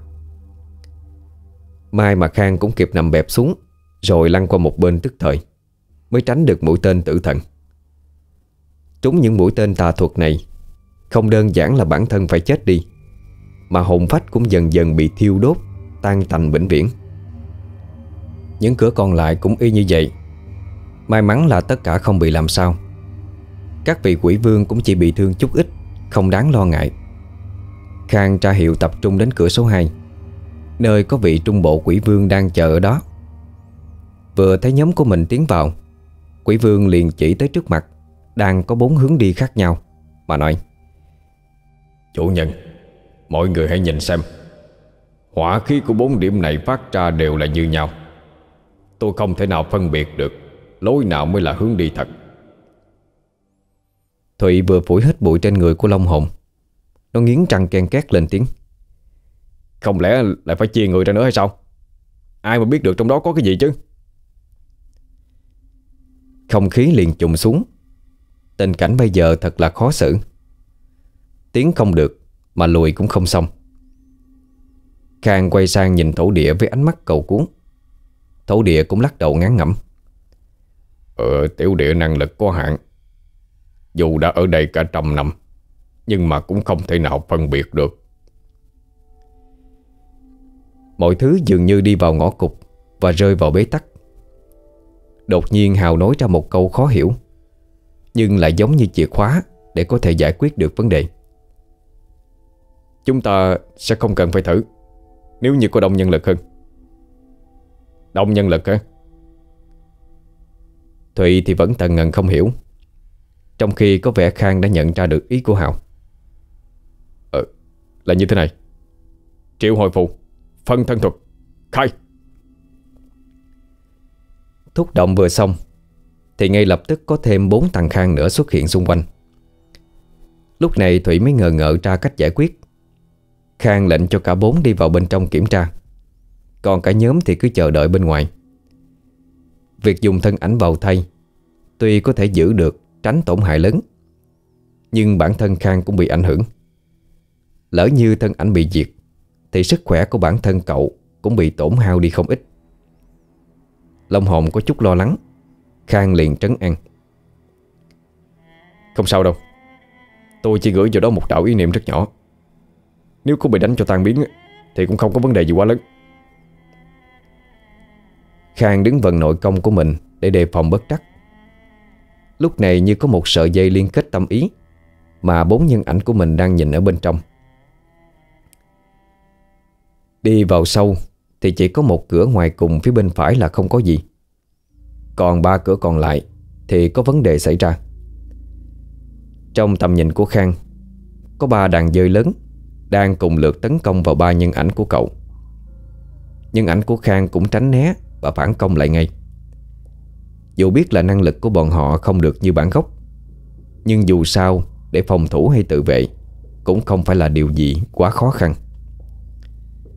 Khang liền lệnh cho tất cả thân ảnh rút về. Đàn dơi cũng như vậy Mà tấn công ra bên ngoài. Lúc này là cả tập thể cùng nhau chiến đấu Tiêu diệt đàn dơi quỷ. Trận đánh ngắn ngủi diễn ra. Hào chỉ thẳng vào cửa bên phải Mà kêu to. Là lối này. Cả nhóm kéo vào bên trong. Bước qua được cánh cửa đó Thì Khang càng cảm nhận được sức nóng tỏa ra mãnh liệt hơn. Biết là khoảng cách với Phụng Tượng Và Phụng Thạch đang gần hơn Nên Khang vui mừng lắm nhưng nụ cười còn chưa kịp xuất hiện Trên khuôn mặt đủ lâu, Thì đã vội tắt ngắm đi. Bởi vì trước mặt cả nhóm Là ba bức tượng cao gần 5 mét chắn đường. Trong đó, Một bức tượng là Kim Sĩ Điểu, Bức còn lại là ưng sư, Và bức cuối cùng Mang hình dáng của một con mãng xà hung dữ. Vừa nhìn là thấy có điểm ngay. Cả nhóm liền lui ra sau vài bước. Thì đột nhiên mặt đất trung chuyển. Sau đó dần tách ra. Long hồn liền thả Thủy xuống. Hào nhìn sang xung quanh, Thấy bên dưới các khe nứt đang cuộn trào hắc hỏa liên tục. Luồng hắc hỏa đó nhập vào ba bức tượng, Làm cho ánh mắt của bọn chúng sáng lên. Tượng dần dần chuyển động Cho biến thành những con vật bằng da bằng thịt. Giống như cái cách mà Khang giải khai long tượng, Hay hào hóa giải lân tượng. Nhưng có đôi chút khác biệt. Thứ hắc hỏa làm cho bọn chúng thức tỉnh Không phải là loại phép thuật chính tông Mà là một kiểu rất dị biệt. Phần đất mà nhóm Khang đang đứng bây giờ Không khác gì là một hòn đảo nhỏ Bị cô lập xung quanh Bởi khối lửa nghi ngút. Phía bờ bên kia lại có một thứ gì đó rất lạ Trông như một chiếc quan tài. Thụy hô to ra hiệu. Nè, ở bên kia an toàn. Chúng ta phải qua được bên đó. Hình như cái đám thú vật này Là thứ canh cửa cho phụng tượng Mà Cao Cường sắp đặt cũng nên á. Ba con tạ vật lao đến tấn công. Lần này thì e rằng không đánh lớn không được. Long hồn giao thổ địa cho Thụy liền nói Thụy à Ông lo bảo vệ thổ địa đi Không cần phải vào chiến đấu Thổ địa nhảy qua vai Thụy Nó bối rối kêu to. Ừ, Nhưng mà tôi cũng không dám chắc đâu ạ Khang nhìn qua Lớn tiếng ra lệnh. Bốn quỷ vương Bảo vệ Thụy và thổ địa. Từ trong túi âm dương Bốn vị quỷ vương liền bay ra Bảo vệ cho Thụy và thổ địa. Họ vây thành một vòng tròn Kỹ lưỡng canh chặt từ trong ra ngoài. Thổ địa liền bảo ngay Ờ các vị không cần hộ pháp tôi như vậy. Chỉ cần một mình phương sĩ này là đủ rồi. Hãy mau đến phụ giúp chân lòng với lòng xoáy đi Kim sĩ điểu và ưng sư. Giống là khắc tinh của loại rồng đó. Thổ công chớ lô xa. Chúng tôi tự có tính toán. Khang liền hóa chân lông dạng, Rồi bay lên đối đầu với kim sĩ điểu. Long hồn cũng trở lại nguyên hình Để đối phó với ưng sư. Người đáng tội nghiệp nhất bây giờ chính là Hào. Mang danh là truyền nhân của lân thần, Nhưng lại không thể hóa thành chân lân dạng được. Nó chỉ được ở dạng bán lân mà đánh với con mãng xà to lớn hung dữ hơn gấp nhiều lần. Con mãng xà trường tới, Phun nọc độc về phía cậu. Hào liền cuộn tròn mình lại, Dùng tấm vải lân kháng độc mà che chắn ngay. Sau khi đã thủ qua được làn khói nguy hiểm, Hào phóng lên trên cao. Dương vuốt vận lân thuật, Đánh tới. Con trắng cỏ này, Mày chọc nhầm ông cứu nội của mày rồi. Kỳ lân trảo sắc! Móng vuốt của Hào vươn dài ra. Nó cào liên tục những luồng vuốt khí Lao tới tấn công dữ dội. Con mãng xà bị công kích Hoàng mình kêu lên đau đớn Gào trống liên tục. Thụy bên này quên bén đi mà rống to. Biến chân lân giả chết mẹ nó đi Hào Hào quay mặt lại nhăn nhó. Tôi mà biến được á Đâu cần ông chỉ. Hào nói xong thì đáp xuống đất. Con mãng xà được thế liền lao tới đánh trả nó phùng mang lên, Rồi định đớp Hào một cú Hào liền nhanh chóng phi thân sang một bên tránh né. Con mãng xà cũng không vừa gì. Nó lập tức thuận thế vung đuôi. Một cú thật mạnh đánh thẳng vào người Hào. Đuôi của nó còn có những cái lưỡi dao sắc nhọn Được găm chĩa ra hai bên. Nhanh như chớp, Hào lập tức tung vuốt chém trụng hết những lưỡi dao trên đuôi mãng xà. Sau đó dùng lực đánh vào những lưỡi dao đó. Điều khiển chúng phóng ngược lại, Công kích con rắn to lớn kia. Mãng xà bị chính dao của mình đâm thủng một bên mạng sườn, Nên cực kỳ đau đớn Và di chuyển khó khăn. Nó tiếp tục phun ra một làn sương lạnh, Khiến cho Hào lạnh tưởng chừng như muốn chết rét. Móng vuốt lân trảo cũng vì thế mà đóng băng luôn. Khang ở phía bên này thấy vậy, Bèn ném sang cho Hào một tấm hỏa phù màu đen, Rồi bảo Dùng hắc hỏa phù đi. Làm phù trở xuống Không thể nào gây được sát thương với thạch thú đâu. Hào liền phóng lên trên cao Đón lấy lá hắc phù. Cậu ta cắn đầu lưỡi Rồi phun máu vào đó Để làm vật dẫn thúc động Vẽ ra hai ký tự phù văn đại hỏa. Hào đọc to khẩu huyết tấn công. Hắc quả phù Khai! Tiếp theo Hào bấm hỏa quyết chỉ Để cường hóa luồng hỏa thuật từ đạo hắc phù cho nó cuồng bạo hơn. Rồi kê bốn đầu ngón tay lên ngang miệng. Cứ thế liên tục thổi. Từng luồng lửa đen cứ phừng phừng lao tới, Làm tan đi lớp tà khí giá băng Đang khống chế mình và đồng đội từ nãy tới giờ. Con mãng xà bị trúng hỏa thuật thiêu đốt. Nó dần trở nên điên loạn. Trường tới trường lui mất hết kiểm soát. Tiếng trống của nó phát ra Như muốn thủng cả màn nhĩ vậy một trong bốn vị quỷ vương liền lên tiếng nhắc nhở. Chân lân à Cơ hội tất sát tới rồi. Mau trả tay đi. Lần này Hào không dám có chút chậm trễ nào. Lập tức vận lân thuật vào móng vuốt Khiến cho nó biến to lên rất nhiều. Hào phóng thẳng lên trên cổ con mãng xà Ngồi kẹp hai chân vào cổ nó Tung móng vuốt lên cao rồi nói Chết đi Còn lại không kiếp Hào bung tay mạnh xuống, Cắm thẳng vuốt vào đầu con mãng xà, Khiến cho nó rống lên một tiếng chấn động. Thụy và thổ địa chứng kiến Cũng bất ngờ trước độ liều của Hào. Con mãng xà dãy dùa dữ dội, Cố gắng hết sức để hất Hào xuống đất. Nhưng càng hất, Thì chân của Hào càng kẹp vào cổ con mãng xà chặt hơn. Móng vuốt cắm vào ngày càng sâu Và càng mạnh hơn trước. Hào vận lân thuật toàn thân rồi truyền vào móng vuốt thêm một lần nữa. Lân thuật được truyền thẳng vào đầu con mãng xà Sau đó thoát ra từ miệng Mũi và khóe mắt của nó. Hào gầm lên. Thần lân thuật Cuồng vũ xuyên kích Phá! Bùm một tiếng Đầu của con mãng xà liền bị nổ tung. Toàn bộ cơ thể to lớn đồ sộ của nó ngã xuống đất. Hào canh độ cao thích hợp Liền tung người nhảy xuống an toàn để lại xác con mãng xà Nằm trơ ra đó. Bây giờ Thủy mới cảm nhận được khả năng tác chiến thực tế của Hào Là ghê gớm đến cỡ nào. Hèn gì mà cậu ta lại thừa sức đánh cho Khang bị thương, Phải thủ họa như vậy. Giả tỷ Hào có thể hóa thành dạng chân lân, Đạo hạnh còn tăng tiến được như Khang, Thì thật không dám tưởng tượng nổi Khả năng chiến đấu của cậu ta sẽ mạnh đến cỡ nào nữa.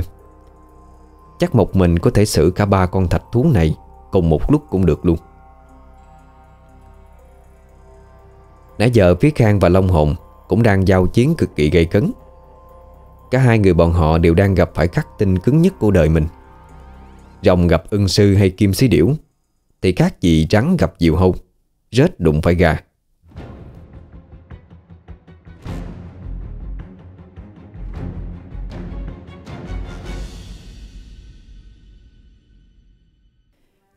Hào thì không thể bay.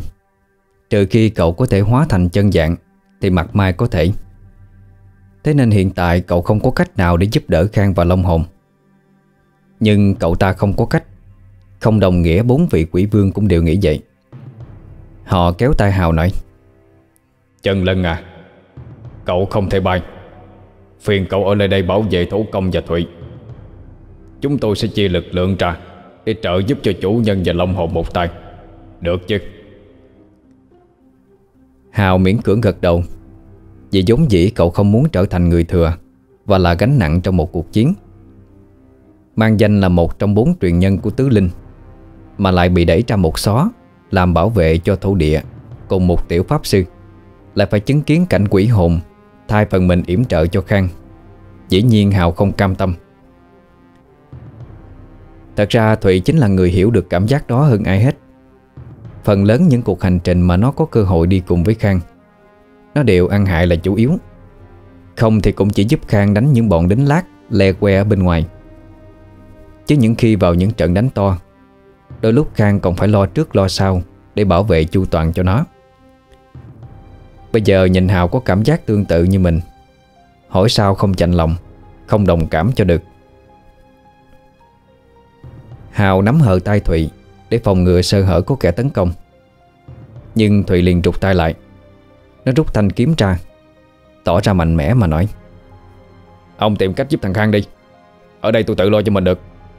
Dù sao tôi cũng là một pháp sư mà, Chứ có phải người thường đâu. Thôi dẹp đi. Để tôi đây dòng ông cho chắc. Rủi tôi ra đó mà ông với thổ địa xảy ra chuyện gì Thì tôi còn mặt mũi nào đối diện với chân lông đâu. Đi đi mà, Không sao đâu. Tôi cũng có sứ mạng của mình. Tôi sẽ bảo vệ cho thổ địa. Nếu mà hạng quỷ tầm thường thì tôi cũng đánh được.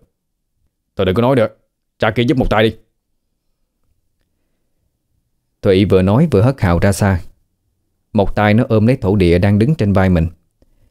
Tay còn lại thì cầm chắc thanh kiếm, Quan sát kỹ lưỡng xung quanh. Hào thấy vững dạ hơn Rồi quay sang chỗ Khang tiếp ứng. Cậu ta ném lên cho Khang một lá hát phù. Trong văn phạn có vẻ hơi lạ, Mà kêu, Nè Khang, Dùng thử cái này đi. Lá hát phù bay đến chỗ Khang. Nó đang quần nhau với con kim sĩ điểu. Liền quơ tay đón lấy. Sau đó dán lá hát phù thẳng vào trong ngực mình. Khang thúc động ngay, Mặc cho bản thân đang ở thể chân lông dạng. Nó hô to, Thần Long thuật, Hắc hỏa phù, Khai! Lá hát phù biến thành một dòng mực đen. Cứ thế mà từ từ đi khắp người Khang. Mực chạy đến đâu, Phù văn nổi lên đến đó. Những dòng phù văn đó Chính là linh khí mà Hào được đích thân lân thần trao tặng. Nó được cất giữ dưới dạng hát phù, Dùng để trị và đối đầu với những tà vật Và đối thủ cao cấp. Lần này đưa cho Khang, Quả thật là có hiệu nghiệm. Khang lao tới dùng móng trồng của mình, Bấu chặt vào hai bên mạng sườn của đối phương. Tiếp đến nó luồn lên trên Để quấn chặt người con kim sĩ điểu. Sức mạnh hiện giờ của Khang đúng là tăng tiến hơn rất nhiều. Mặc dù đang phải đối chọi với khắc tinh của mình Mà nó cũng chẳng mấy chịu thiệt. Thổ địa bên dưới nhìn mà tâm đắc.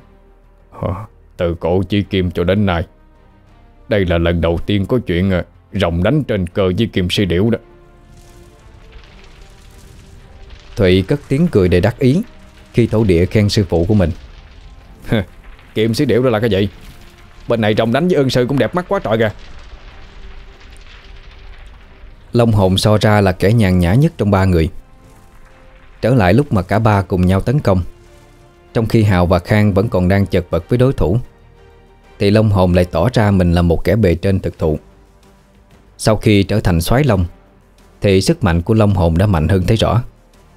Thân hình cường trắng, Sức lực dồi dào Đối với Long hồn Trận chiến với các tinh này không giống như người ta nghĩ Là rết đấu với gà Mà giống như trăng gấm vần với ngỗng hưng Con sư tử đá kia chẳng thể nào mảy may làm bị thương được soái long Dù chỉ là một ít.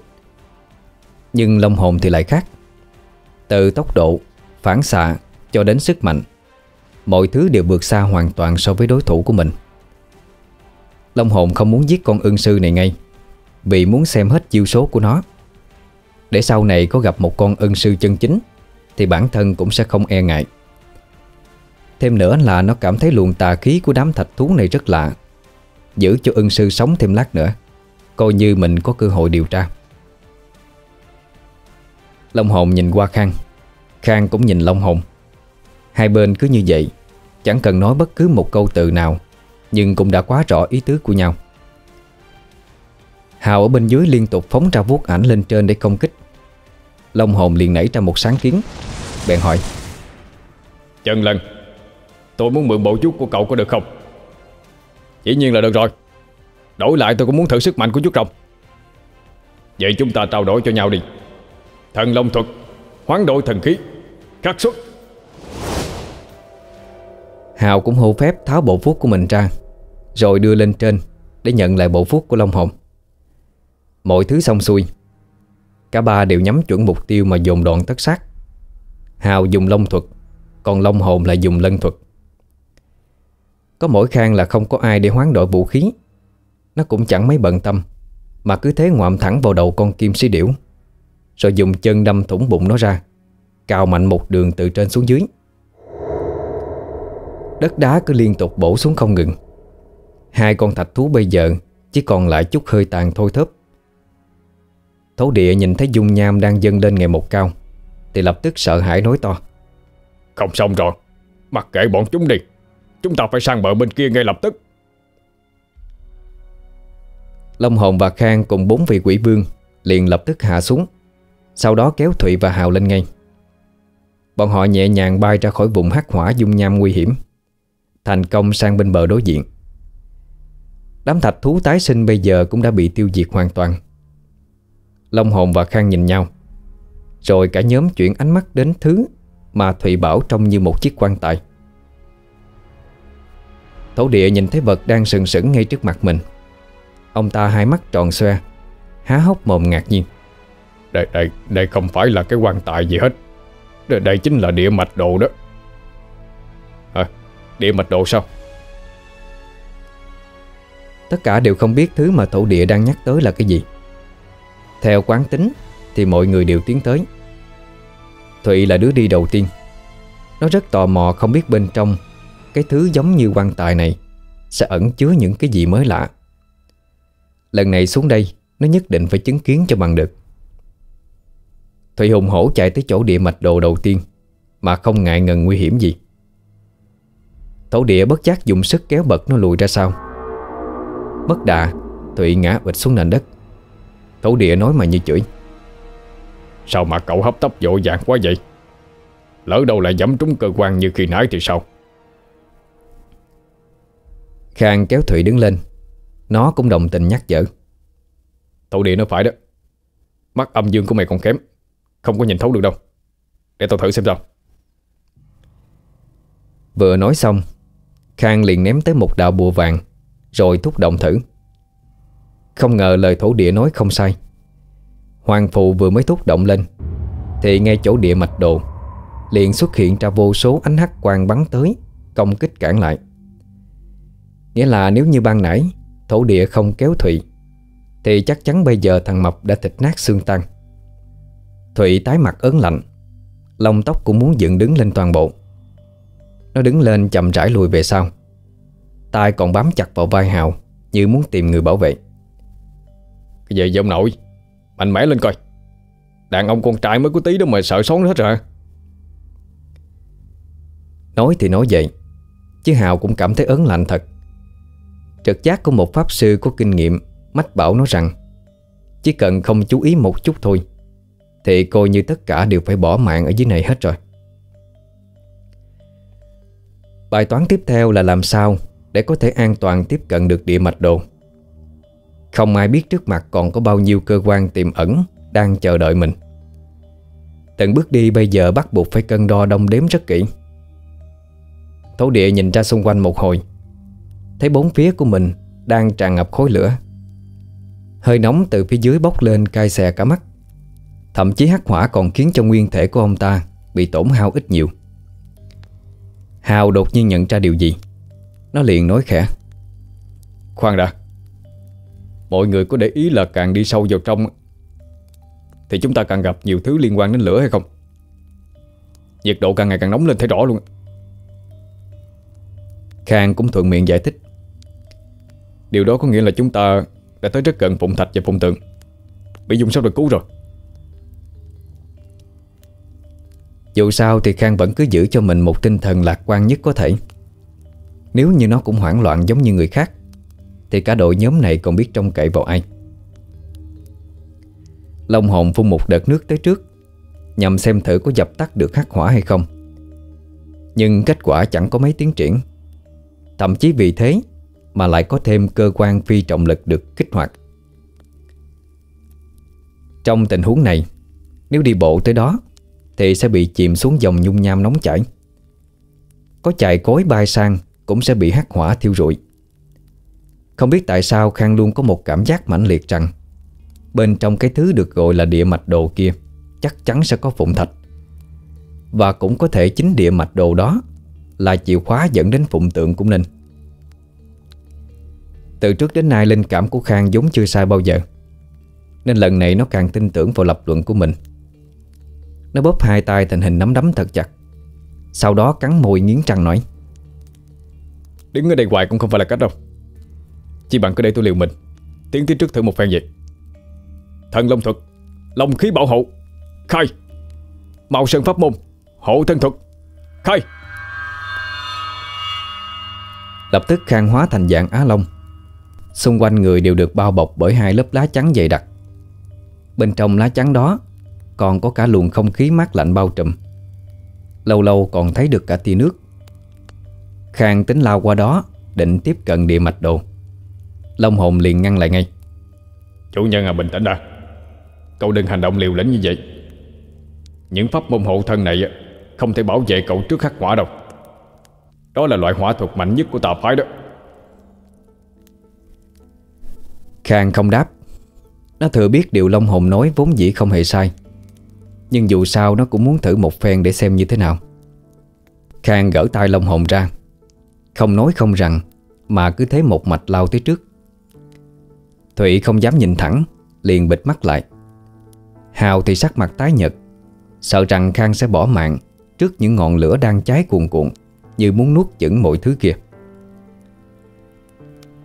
Những luồng hắc hỏa kia cảm ứng được có kẻ đang đột nhập vào, liền tập trung hỏa lực tấn công cực mạnh.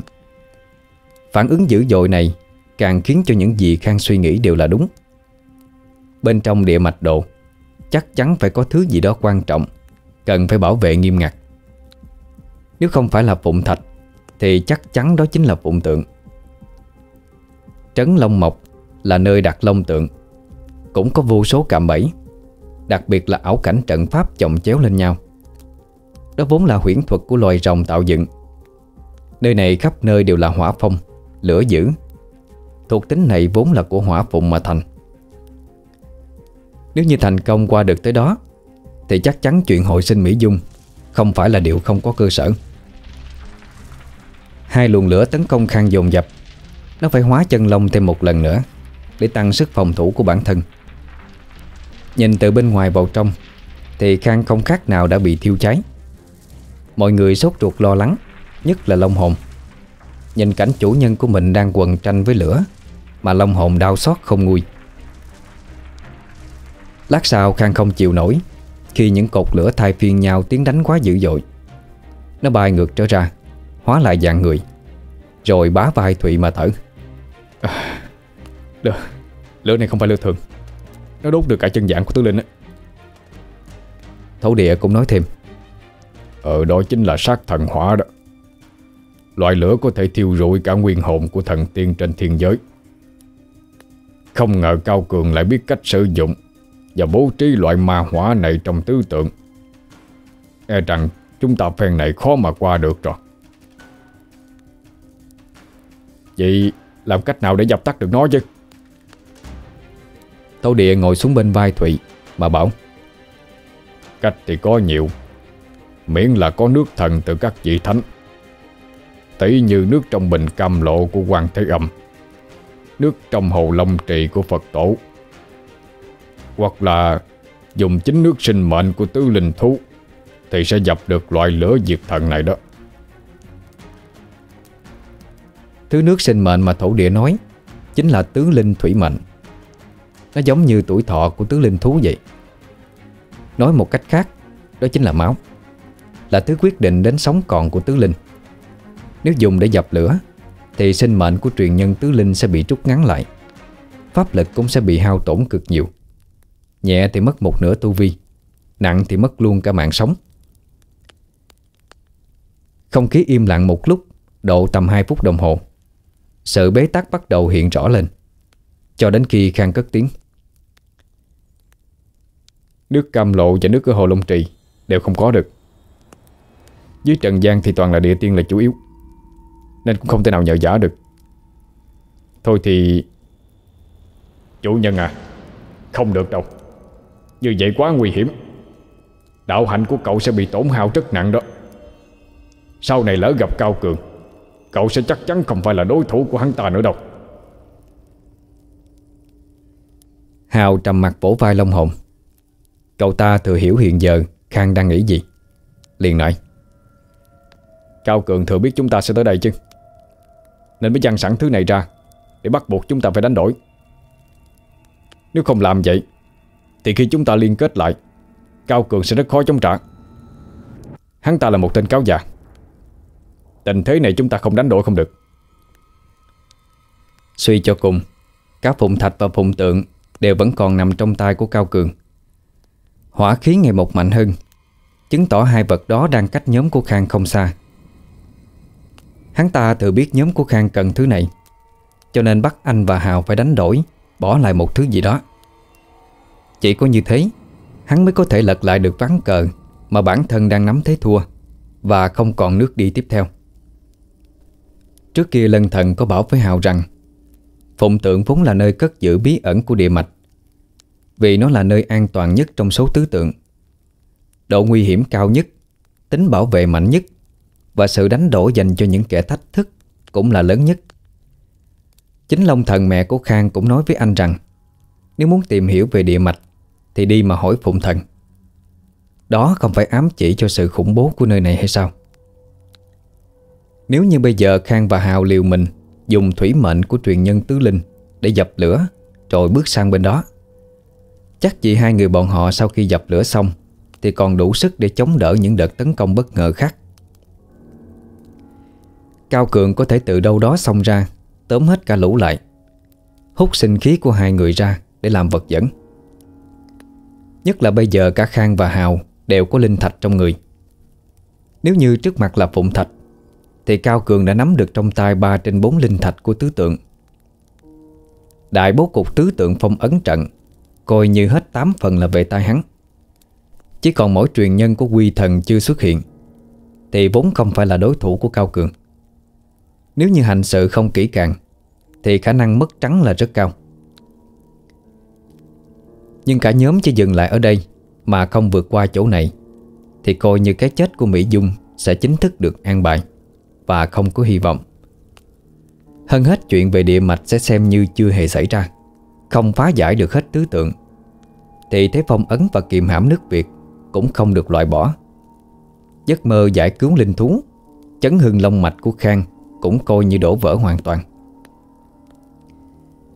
Trong tình huống này Dường như số phận đã ép Khang phải lựa chọn phá giải. Mặc kệ cho bản thân có đánh đổi bao nhiêu, Vừa là để trung hưng vận nước, Vừa là để diệt trừ kẻ gian Và cứu lấy người thương của mình.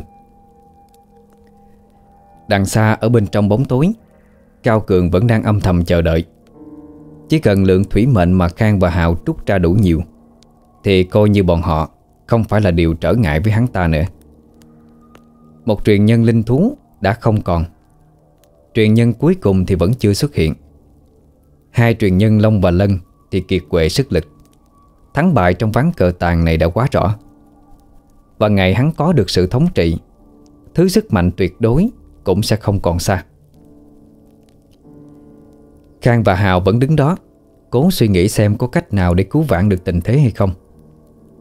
Thổ địa cảm thấy sốt sắng thay cho bọn họ Mà lên tiếng hỏi. Ừ, ừ sao rồi?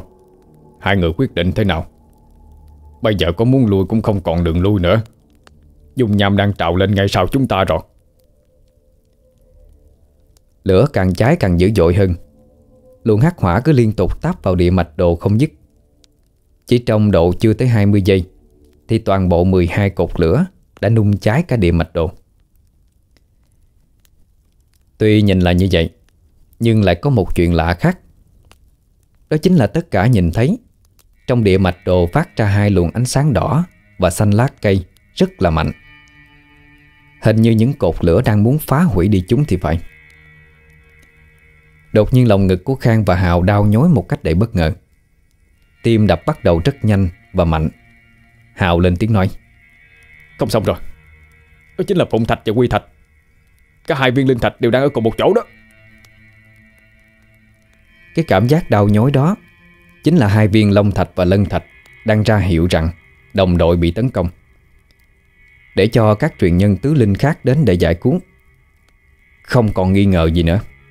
Thứ phát ra từ địa mạch đồ đó Chính là linh khí của tứ linh. Như vậy thì quy thần Cũng đang ở gần khu vực này. Không thể nào chậm trễ thêm nữa. Thổ địa bay vút lên cao mà cảnh báo. Không xong rồi. Ngọn lửa đang tự thiêu quỷ địa mạch đồ. Để ngăn các cậu tiến vào địa mạch đó. Mau dập tắt nó đi, Rồi đem hai viên linh thạch còn lại về tay mau. Tứ linh thạch nếu không tập hợp đủ, Thì lời nguyện của tứ tượng phong ấn trận Sẽ không được giải khai. Tất cả những gì hai cậu cố gắng đều là công cốc đó. Lúc này cả Khang và Hào đều không thể chần chừ Và nấn ná thêm bất kỳ giây phút nào nữa. Bọn họ liền bắt quyết, Đọc chú thi triển cấm thuật ngay. Tứ linh thuật. Thủy mệnh truyền nhân. Xuất thần ân cứu. Cấp cấp như sắc lĩnh, Trừ hóa. Viên linh thạch của hai người bọn họ Tạm thời tự rời ra khỏi cơ thể. Rồi phóng ra một luồng nước phép mát lạnh Đến những cột lửa hung dữ kia. Ngọn lửa ngay lập tức bị thủy mệnh của cả hai áp chế. Không còn cháy mạnh một cách dữ dội như ban đầu nữa. Nhưng muốn dập tắt hẳn nó Thì e rằng nước vẫn chưa đủ nhiều. Thổ địa lại hối thúc. Vẫn chưa đủ. Chúng ta cần nhiều nước hơn nữa. Sói lòng mà. Ngài cũng mau giúp một tay đi. Long hồn cũng ngay lập tức khóa trồng Rồi phun nước vào đó. Nhưng lại chẳng mấy ăn thua. Xem ra chỉ có Khang và Hào mới có thể làm được chuyện này mà thôi. Hào vận lân thuật của mình Cố gắng đẩy ra nhiều nước hơn nữa. Lửa càng ngày càng được dập nhanh hơn Khang thì phun nước vào phía đối diện, Để đề phòng lửa từ hai bên cháy lan ra một lần nữa. Thấy từng đó vẫn là chưa đủ, Khang hóa thành dạng chân lông Bung ra một lượng lớn thủy mệnh của mình, Để tạo thành một cơn mưa lớn. Nước trời như trúc, Nhanh chóng dập tắt được hắc hỏa hoàn toàn. Điều đó đồng nghĩa Là Khang đã đánh đổi rất nhiều sinh mệnh của bản thân, Để có thể cứu hỏa thành công đám cháy này.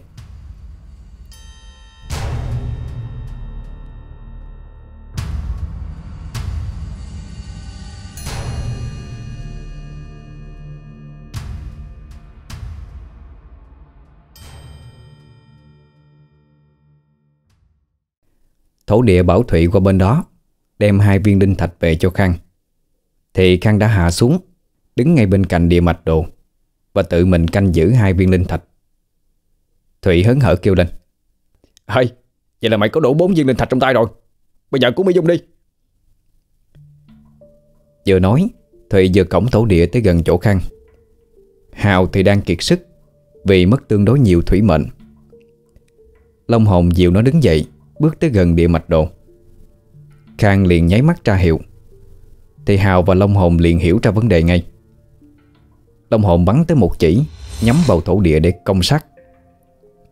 Còn Hào thì nhanh chóng chạy tới bên cạnh Khang, Để cùng bảo vệ địa mạch đồ Riêng Thụy vẫn không hiểu chuyện gì. Nó còn cho rằng bị Cao Cường đánh lén. Cho đến khi Khang lên tiếng. Màn kịch hôm nay đến đây thôi ha. Cao Cường. Xem ra mày diễn cũng đạt lắm đó. Thổ địa bị trúng một cầm lông chỉ của Long hồn Liền té ngã xuống đất. Nhưng tay vẫn kịp nắm lấy vạt áo của Thụy mà đứng lên. Ông ta bất ngờ xoa lưng Tỏ ra vô cùng đau đớn. Ồ dạ Soi lòng Ngài làm gì vậy? Sao lại đánh tôi? Thụy cũng dịu thổ địa lên vai mình Rồi nói. Ông làm vậy Long Hồn? Ông có biết thổ địa yếu lắm không Lỡ như ông ta bị hồn siêu phách tán thì sao? Long hồn thở hắt ra một tiếng Vừa tỏ vẻ khinh thường Vừa bực mình Khi chứng kiến cái sự ngu ngơ của thằng Thụy. Mà không thèm nói gì. Trong khi đó một vị quỷ vương Liền lên tiếng đáp thay Chúng phải một cầm lông chỉ Thì cỡ trung bộ quỷ vương như bọn tôi E rằng còn phải dòng mạng. Huống hồ gì chỉ là một tiểu thần nhỏ bé Cậu mau ném hắn ta xuống. Hắn không phải là thổ địa. Hắn là cao cường đó. Cái, cái gì? Thụy bây giờ mới tá hỏa Và biết mình đã lầm to. Hèn gì nó cũng cảm giác không đúng thật. Ăn nguyên một chỉ như đạn Mà thổ địa chỉ xoa lưng kêu đau một tí thôi. Làm gì lại có chuyện đó bao giờ? Thế mà nó còn không biết Lại còn nghĩ long hồn đánh oan cho người ta. Thụy lập tức ném lão thổ địa này xuống đất Nhưng bất thành. Lúc này lão ta cũng không đóng kịch nữa Mà hiện ra nguyên dạng là một phía của Cao Cường. Hắn áp sát rồi khống chế Thụy. Bọn mày khá lắm. Tao thực sự không ngờ Cái vỏ bọc thổ địa này Lại bị lật tẩy nhanh tới vậy. Ngạc nhiên thật đó. Hắn ta bóp cổ Thụy Kéo toàn bộ hồn phách của nó ra bên ngoài Còn cơ thể cứ thế mà ngã xuống đất nằm im bất động. Thụy bị nắm ngay cuốn họng. Âm thanh phát ra chỉ khò khè bé bé Nghe cũng chẳng đủ thành công. Khốn nạn Ch Chết đau rồi. Khang, Hào và cả Long hồn đều không dám manh động.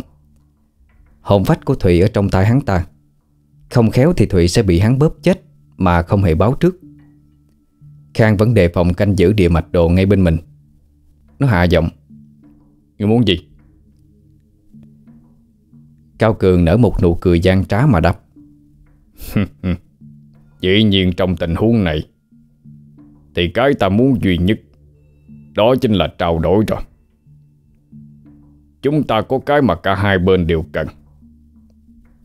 Nhưng khoan hay bàn tới chuyện này dội Ta rất tò mò tại sao các người lại biết được ta. Giả dạng thành thổ địa chứ.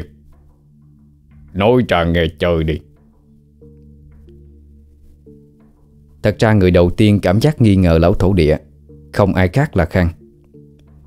Ngay từ giây phút gọi thổ địa lên, Khang đã nhìn thấy khắp người lão ta Đều toát ra một loại tà khí rất quen thuộc.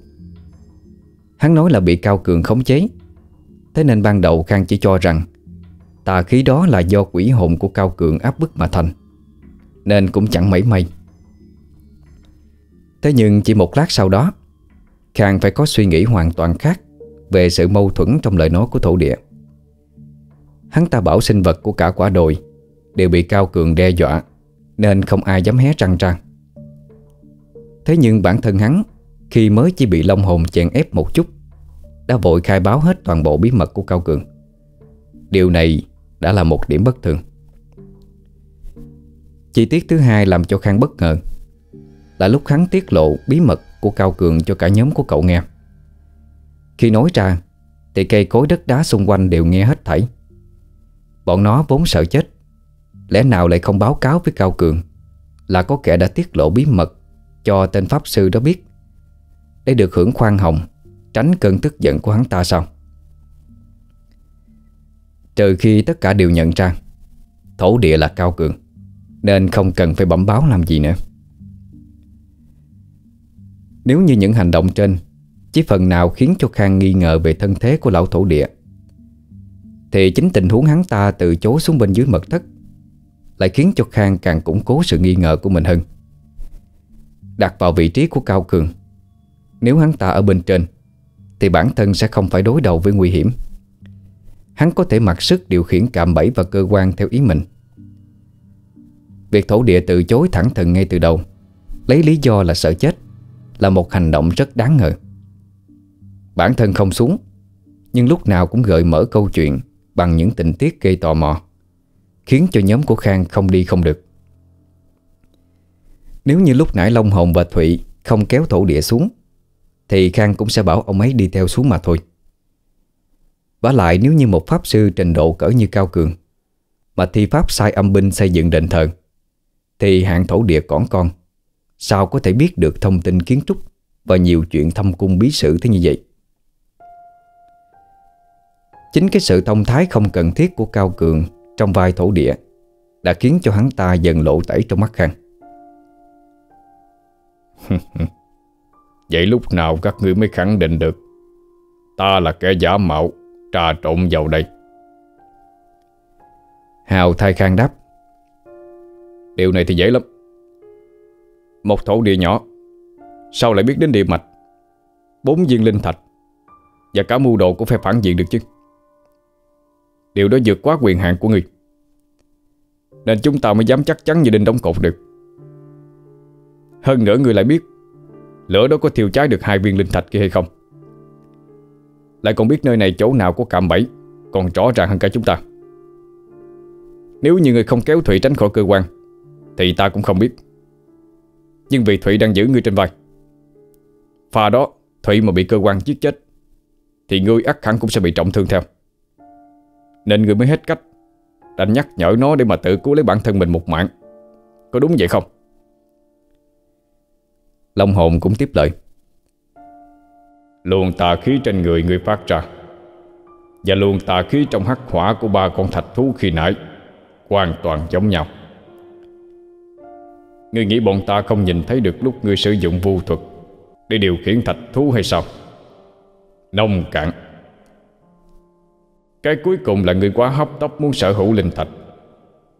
Nên khi vừa dập lửa xong, Đã vội kêu Thụy sang đó lấy về. Một thổ địa mà cầm trong tay linh thạch của thần thú Thì có giá trị gì đâu? Trừ khi ngươi chính là cao cường Nên mới phải dội dội vàng vàng như vậy. Toàn bộ sơ hở của Cao Cường Dù là nhỏ nhất Thì cũng đều được Khang, Long Hồn và Hào Chú ý rất kỹ. Và lại Khang cũng từng một lần vạch mặt Một tên gián điệp ngụy trang như thế này Cách đây mấy năm rồi Nên cũng đã có kinh nghiệm từ trước. Cao Cường tuy ẩn thân có phần xuất sắc hơn tên thầy Thành, Nhưng suy cho cùng Cũng không có cái gì là hoàn hảo. Mới để cho Khang phát hiện ra. Khá khen cho các người, Cũng thông minh lắm. Nhưng muốn thành đại sự, Chỉ có thông minh thôi là chưa có đủ đâu. Ta không dòng dài nữa, Đưa hết linh thạch ra đây. Khang ngay lập tức lấy hai viên linh thạch trong địa đồ, Rồi cất vào túi âm dương. Hiện tại nó và Hào mỗi người đều giữ một viên nữa Là đủ bốn. Cao Cường đem Thụy ra làm vật trao đổi. Lần này thì cả chân thân hắn đều hiện ra rõ ràng, Là một con người bằng da bằng thịt. Hắn ném linh hồn Thụy vào lại trong thể xác, Rồi nắm tóc thằng Mập, Gằn giọng mà đe dọa.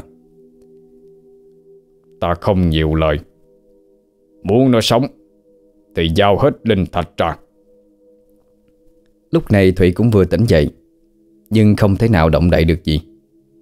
Toàn thân của nó đang bị cao cường khống chế tay chân không cử động được.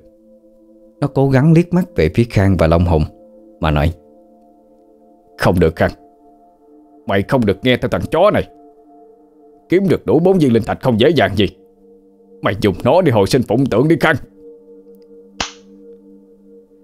Cao Cường tác cho Thụy một cái. Rồi hất hàm nói, Im miệng. Mày nói hơi nhiều rồi đó.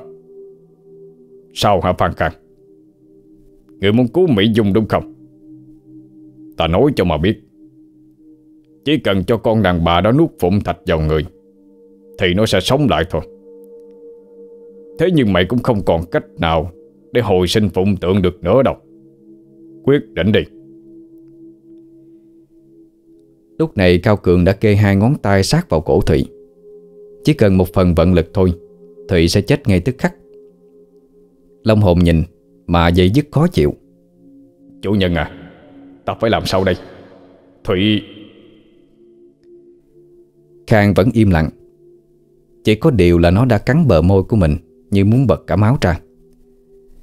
Thụy vốn là bạn thân Là anh em chí cốt Lại còn là đệ tử duy nhất của mình Lỡ có mệnh hệ gì, Thì Khang biết ăn nói với ba má, Với nội ngoại nó ra làm sao. Nhưng Khang cũng thừa biết, Cao Cường cũng vốn chẳng phải hạng chính nhân quân tử gì. Cho dù bây giờ nó có giao hết cả bốn viên linh thạch ra cho hắn ta, Thì cũng chưa chắc Thụy vẫn được toàn mạng trở về. Cao Cường gần như đã mất bình tĩnh. Hắn ép nội lực kề một bên mạng sườn của Thụy, Làm cho nó cảm thấy xương sườn bên phải của mình Như đang muốn vỡ vụn ra. Nó kêu la thảm thiết vì đau đớn, Nhưng vẫn cố gắng nghiến răng Dặn dò đứa bạn. Tao chết kệ cha tao. Mày phải hoàn thành được sứ mạng của mày. Nhớ báo thù cho tao. Có đưa đây hay không? Tao hết kiên nhẫn rồi đó. Còn lì nữa. Tao sẽ cho nổ tung cả nơi này ra bây giờ. Đừng quên cả tháp nhạn bây giờ đang là một quả bơm lửa đó.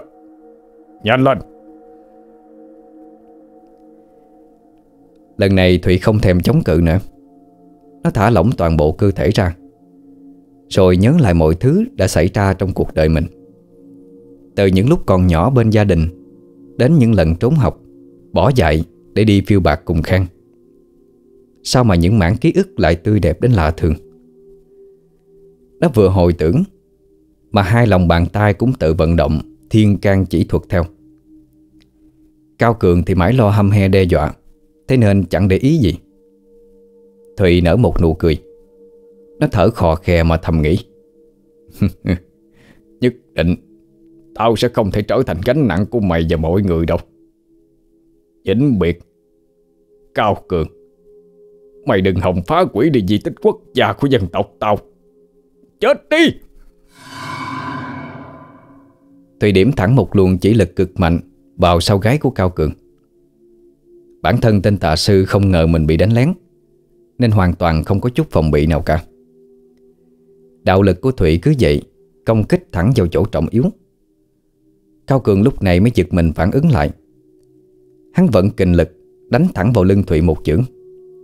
Thụy lập tức phun ra một ngụm máu to, Trước sự chứng kiến bất ngờ của tất cả. Thụy chưa chết hẳn, Nhưng đã cầm chắc án tử trong tay rồi. Đến những giây phút cuối cùng, Nó vẫn muốn kéo Cao Cường theo. Hắn ta vứt Thụy ra, Vì bây giờ nó không còn chút giá trị nào nữa. Sau đó nhanh chóng phi thân, Nhảy vào trong địa mạch đồ Kèm theo lời nhắn. Thằng chó dám đánh lén tao. Mai cho tụi mày là tao đang bị thương.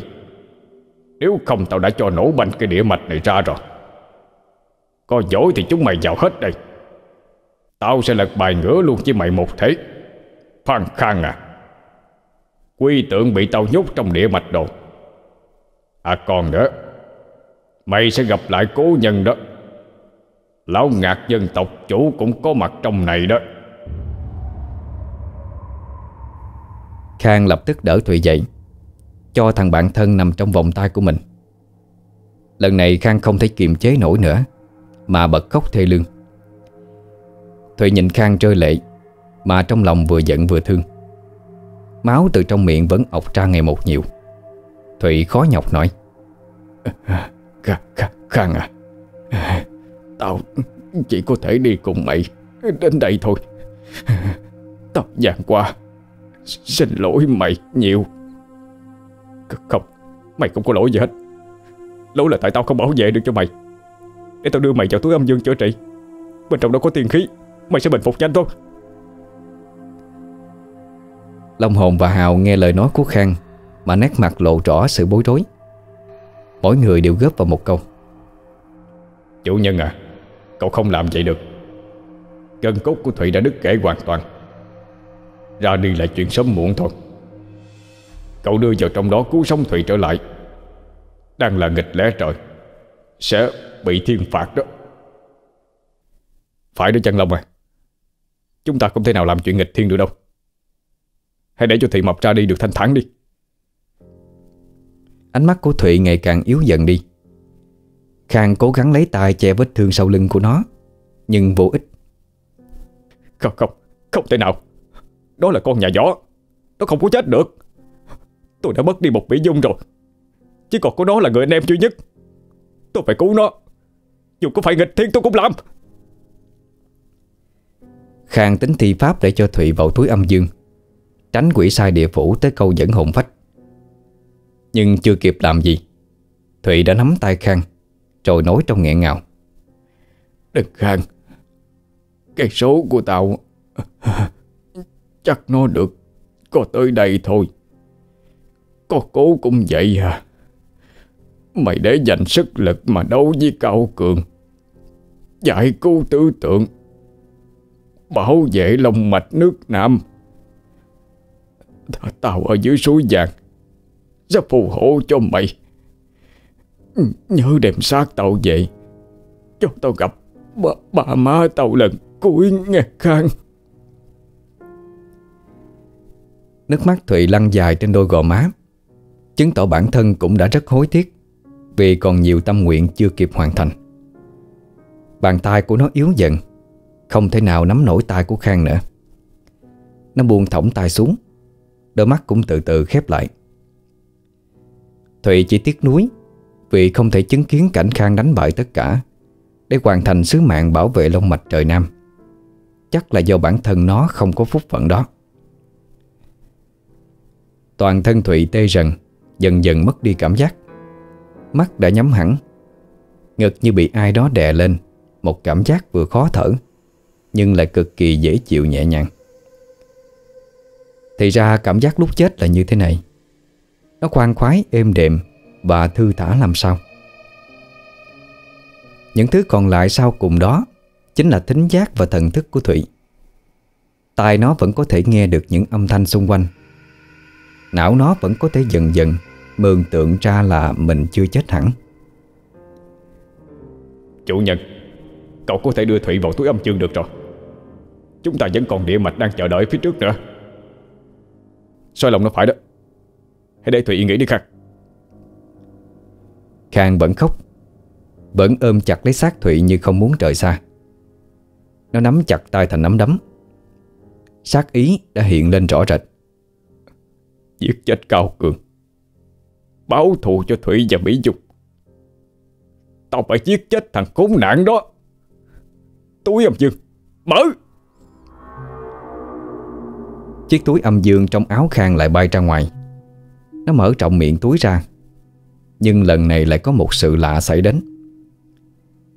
Thân xác Thụy không bay vào bên trong, Mà thay vào đó Lại có một thứ gì đó từ bên trong túi bay ra ngoài. Nhìn kỹ lại Thì đó chính là quy thạch. Nó bay lơ lửng trên không trung một lúc, Rồi tỏa ra hào quang màu xanh lá cây sáng rực.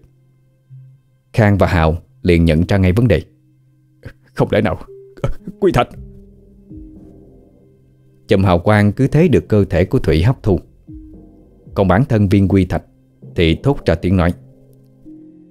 Ơi Đúng là bao năm kén ca chọn canh Lần lựa mãi Cuối cùng ý trời lại bắt ta phải chọn thằng nhóc này.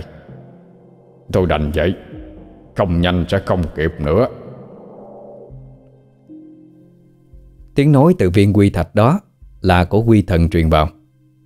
Khang biết quy thần hiển linh Nên cùng Hạo chắp tay kính cẩn nói. Quy thần Ngài nói như vậy là sao? Cái gì mà không kịp ạ? Ơi Cao Cường đang muốn dồn toàn lực Để tấn công phá quỷ địa mạch đó. Nếu không có truyền nhân của tứ linh ngăn cản Thì chắc chắn địa mạch Sẽ chỉ còn là một gò đất quan mà thôi Chị truyền nhân của ngài đâu? Sao vẫn chưa xuất hiện? Hào hỏi một câu trúng ngay chỗ đau của quy thần. Ông đành chỉ vào Thụy mà kêu Thì nó nằm đây chứ đâu. Nhưng có điều căn cơ quá yếu. Sợ cơ thể không đủ cứng cấp Để chịu được sức mạnh của quy thuật thôi. Khang và Hào trố mắt nhìn nhau. Trong lòng xuất hiện ra nhiều cảm xúc cực kỳ hỗn tạp Vui cũng có, Mà buồn cũng có. Vui là bị Thụy là một trong bốn truyền nhân của Tứ Linh, Là đồng đội của bọn họ. Còn buồn vì bây giờ đây, Thụy chỉ là một cái xác không hồn. Làm sao cùng Khang và Hào gánh đảm trọng trách đây? Quy thần điều khiển linh thạch của mình, Bay lượn xung quanh cơ thể của Thụy một hồi lâu. Ông ngó nghiêng qua lại, Nhìn tới nhìn lui, Rồi cố gắng tự động viên bản thân à, Thôi vậy cũng được. Nhìn cũng không đến nỗi nào ha. Với lại nó cũng có công bảo vệ di tích quốc gia. Để à, ta cho thằng nhóc này thêm một mạng nữa. Hào quang từ viên quy thạch phát ra ngày một mãnh liệt hơn. Nó cứ như thế mà truyền năng lượng vào bên trong người Thụy. Da dẻ của Thụy bỗng nhiên trở nên hồng hào trở lại. Toàn thân tràn trề sinh khí. Hào vui mừng vỗ vai Khang mà kêu Sống rồi, sống rồi Khang ơi. Thủy đã được cứu rồi kìa. Thủy vốn đã buông xuôi Và chấp nhận cái chết đến với mình. Những cảm giác cuối cùng cũng dần mất đi. Linh hồn chuẩn bị xuất ra ngoài Thì tự dưng nó cảm nhận được Có thứ gì đó tươi mát dịu kỳ Đang truyền vào bên trong cơ thể của mình. Hình như thứ cảm giác đó đang trì hoãn cái chết của bản thân nó. Thùy cảm thấy vô cùng khó chịu. Khỏe lại cũng không phải. Nhưng mà cũng không chịu để yên cho Thùy được chết. Nó muốn chửi thề lắm, Nhưng lại chẳng thể đủ sức mở miệng Mà thốt ra thành lời. Thụy tưởng Khang và Hào đã đi rồi. Nó không hề biết là bọn họ vẫn đứng đó, Đợi nó hồi tỉnh. Càng ngày Thụy càng cảm thấy mình khỏe hơn. Cảm giác như toàn thân đang có một nguồn sinh lực tươi mới. Hình ảnh của quy thần dần dần hiện ra. Ông nhìn thẳng vào mặt nó mà chửi. Sao còn chưa dậy nữa? Đúng là heo mà. Mày tính nằm ì ở đây đến bao giờ? Thụy hoảng hồn Nhìn quy thần giống như một lão yêu quái. Đầu nhỏ, mũi hết Thêm cái miệng nhọn hoắt như dao. Nó tưởng là quỷ hồn đến bắt mình Cho nên vô cùng sợ hãi La làng mà thưa. Trời ơi, ông là quỷ sai hay sao? Đến bắt tôi hả Quy thần cú đầu Thụy một cái. Ta là quy thần. Ta đến để trao cho ngươi một trách nhiệm to lớn. Tạm thời nhà ngươi cần thời gian để thích nghi với quy thuật của ta. Không cần phải dậy sớm làm gì. Ngủ tiếp đi. Ở bên này Khang, Hào và cả Long Hồn Đều nhìn thấy những chuyển biến tích cực đến từ Thụy. Hơi thở cũng bắt đầu xuất hiện trở lại. Dương khí cũng dần tản phát ra Long hồn nhìn thấy khuôn mặt của Khang hiện lên một tia hy vọng rạng rỡ. Thụy đang sống lại nhờ viên quy thạch của quy thần. Vậy nếu như cậu đặt được phụng thạch vào Mỹ Dung, Thì có thể người yêu của cậu sẽ sống lại. Quy thạch lại bay tới chỗ Khang, Rồi rơi vào bàn tay cậu. Khang lập tức hỏi ngay. Quy thần à Ngài cho con hỏi, Với linh thạch của tứ linh Có thể hồi sinh lại cho truyền nhân của họ một mạng được Đúng không? Quy thần thừa biết Khang đang nghĩ gì Nên ông cũng đáp lại Nhằm dập tắt đi mọi sự hy vọng của nó ngay. Phải. Nhưng với điều kiện là người truyền nhân đó Vẫn còn hồn phách Thì linh thạch mới cứu được. Chứ đã tan hồn nát phách như Mỹ Dung ấy, Thì à, Thôi đừng nói nữa. Đem thằng Thủy vào bên trong túi âm dương cho nó nghỉ ngơi đi. Hai con hãy vào địa mạch ngay lập tức, Kéo chậm trễ thời gian đó. Vừa dứt câu, Thì viên quy thạch cũng dừng phát sáng Và quay trở lại vào trong túi âm dương như ban đầu. Cơ thể của Thụy cũng theo đó Mà bay vào trong luôn. Câu trả lời đó như dập tắt đi toàn bộ hy vọng của Khang. Nó thừa biết ý tứ của quy thần nghĩa là gì. Hồn phách của Mỹ Dung đã tan nát hết rồi còn đâu. Tất cả đã hóa thành hồn khí, Bay về phương Bắc xa xôi vô định. Viên phụng thạch không thể hồi sinh một thể xác không có linh hồn. Kể từ giây phút này, Khang mới thấm được cái cảm giác đau khổ Khi đã chính thức mất đi người mình thương mãi mãi. Nó đứng lặng người ở đó một hồi lâu.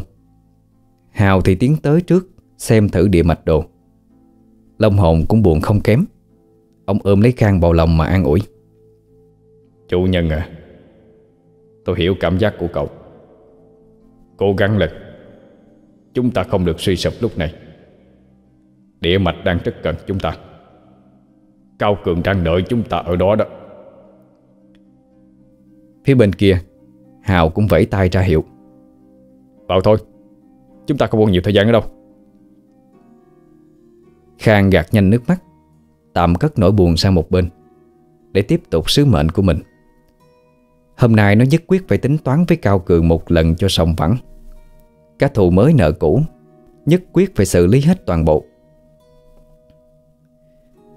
Đứng trước địa mạch đồ Khang nhìn thấy ở đó có bốn lỗ tròn Theo thứ tự màu trắng, xanh, vàng, đỏ. Các lỗ được liên kết với nhau Bằng những đường rãnh nhỏ Vẽ liền một mạch. Ba người nhìn vào Đều hiểu ngay ra ngụ ý. Mỗi truyền nhân của tứ linh sẽ vào bên trong địa mạch Bằng chính khu vực của mình. Khang màu trắng Hào màu vàng. Long hồn luống cuốn không biết mình sẽ vào trong đó bằng cách nào. Khang dùng một ngón tay Để đo độ nông sâu của lỗ tròn Rồi nói Long hồn mà vào bên trong lưng tôi đi Tôi đưa ngài vào. Hiểu rồi chủ nhật. Khang quay người lại Cho long hồn chui vào lưng. Hình xăm rồng vàng lại xuất hiện trên lưng Khang Hào đang nhớ lại khẩu quyết Cùng với chỉ quyết. Cậu ta lẩm bẩm trong miệng một hồi, Rồi nói, Anh có biết cách vào đó hay không? Chúng ta không phải như cao cường. Thích thì chui ra, chui vô tự do như hắn đâu. Khang im lặng không đáp, Chỉ lặng lẽ thi pháp nhập môn Để thay cho câu trả lời. Thần Long Thuật, Địa mạch đồ môn. Mở. Hào cũng liền làm theo. Kim Lân Thuật Địa mạch đồ môn. Mở. Cả cơ thể của hai người Biến thành hai luồng đạo quang, Rồi bay vào bên trong địa mạch.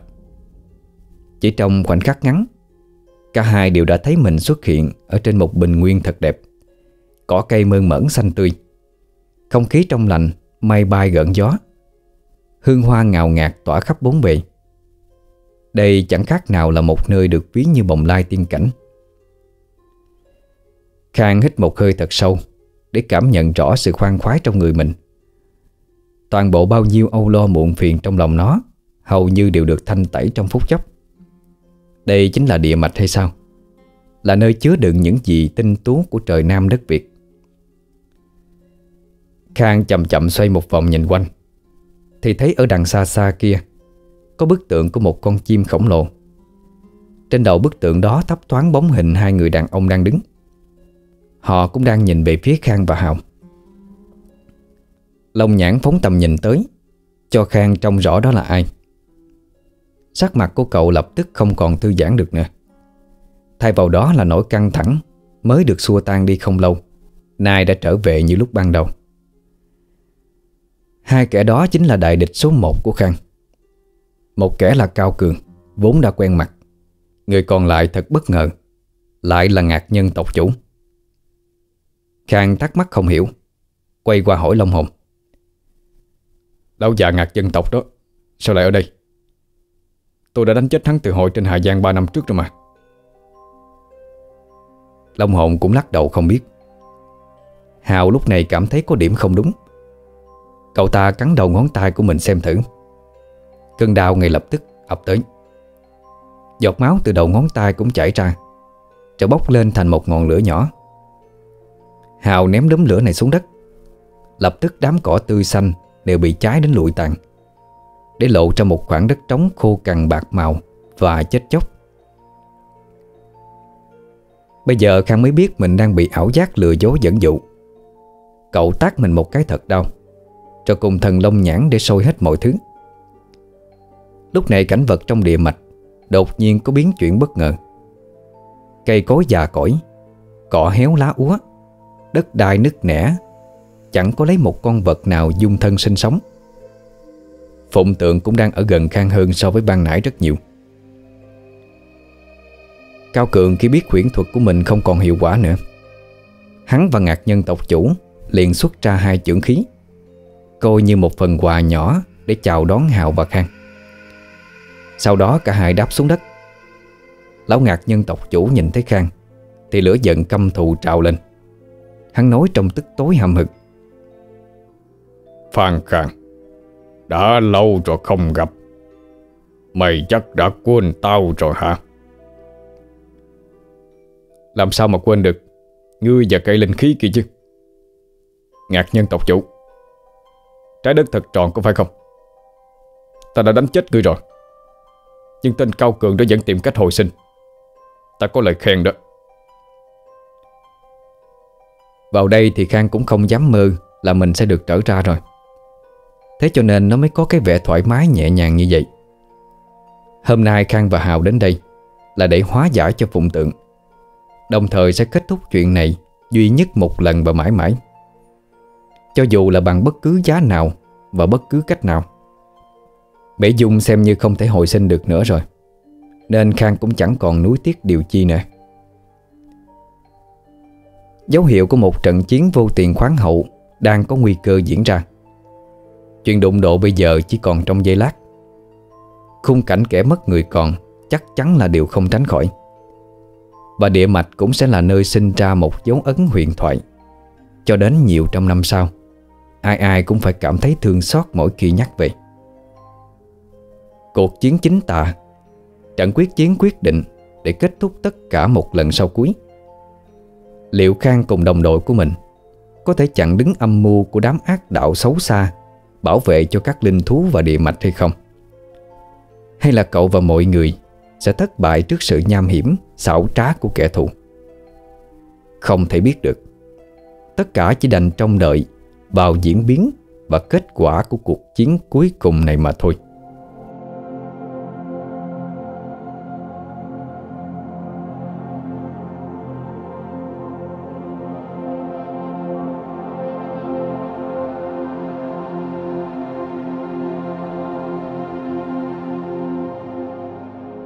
Quý thính giả vừa nghe xong Đền Thiên Địa Mạch là phần tiếp theo của series Phan Khang phiêu lưu truyện của tác giả Phan Thanh An. Như vậy là chúng ta đã được hứa hẹn và biết trước được là phần tiếp theo sau đó sẽ là phần cuối cùng kết thúc series này. Mong rằng quý thính giả hãy luôn yêu mến Phan Thanh An bằng việc truy cập và theo dõi trang Facebook của em ấy nhé. Huy đã để đường liên kết trong phần mô tả của video. Xin cảm ơn rất nhiều. Hẹn gặp lại quý thính giả ở những tác phẩm sau. Chúc quý thính giả một đêm ngon giấc.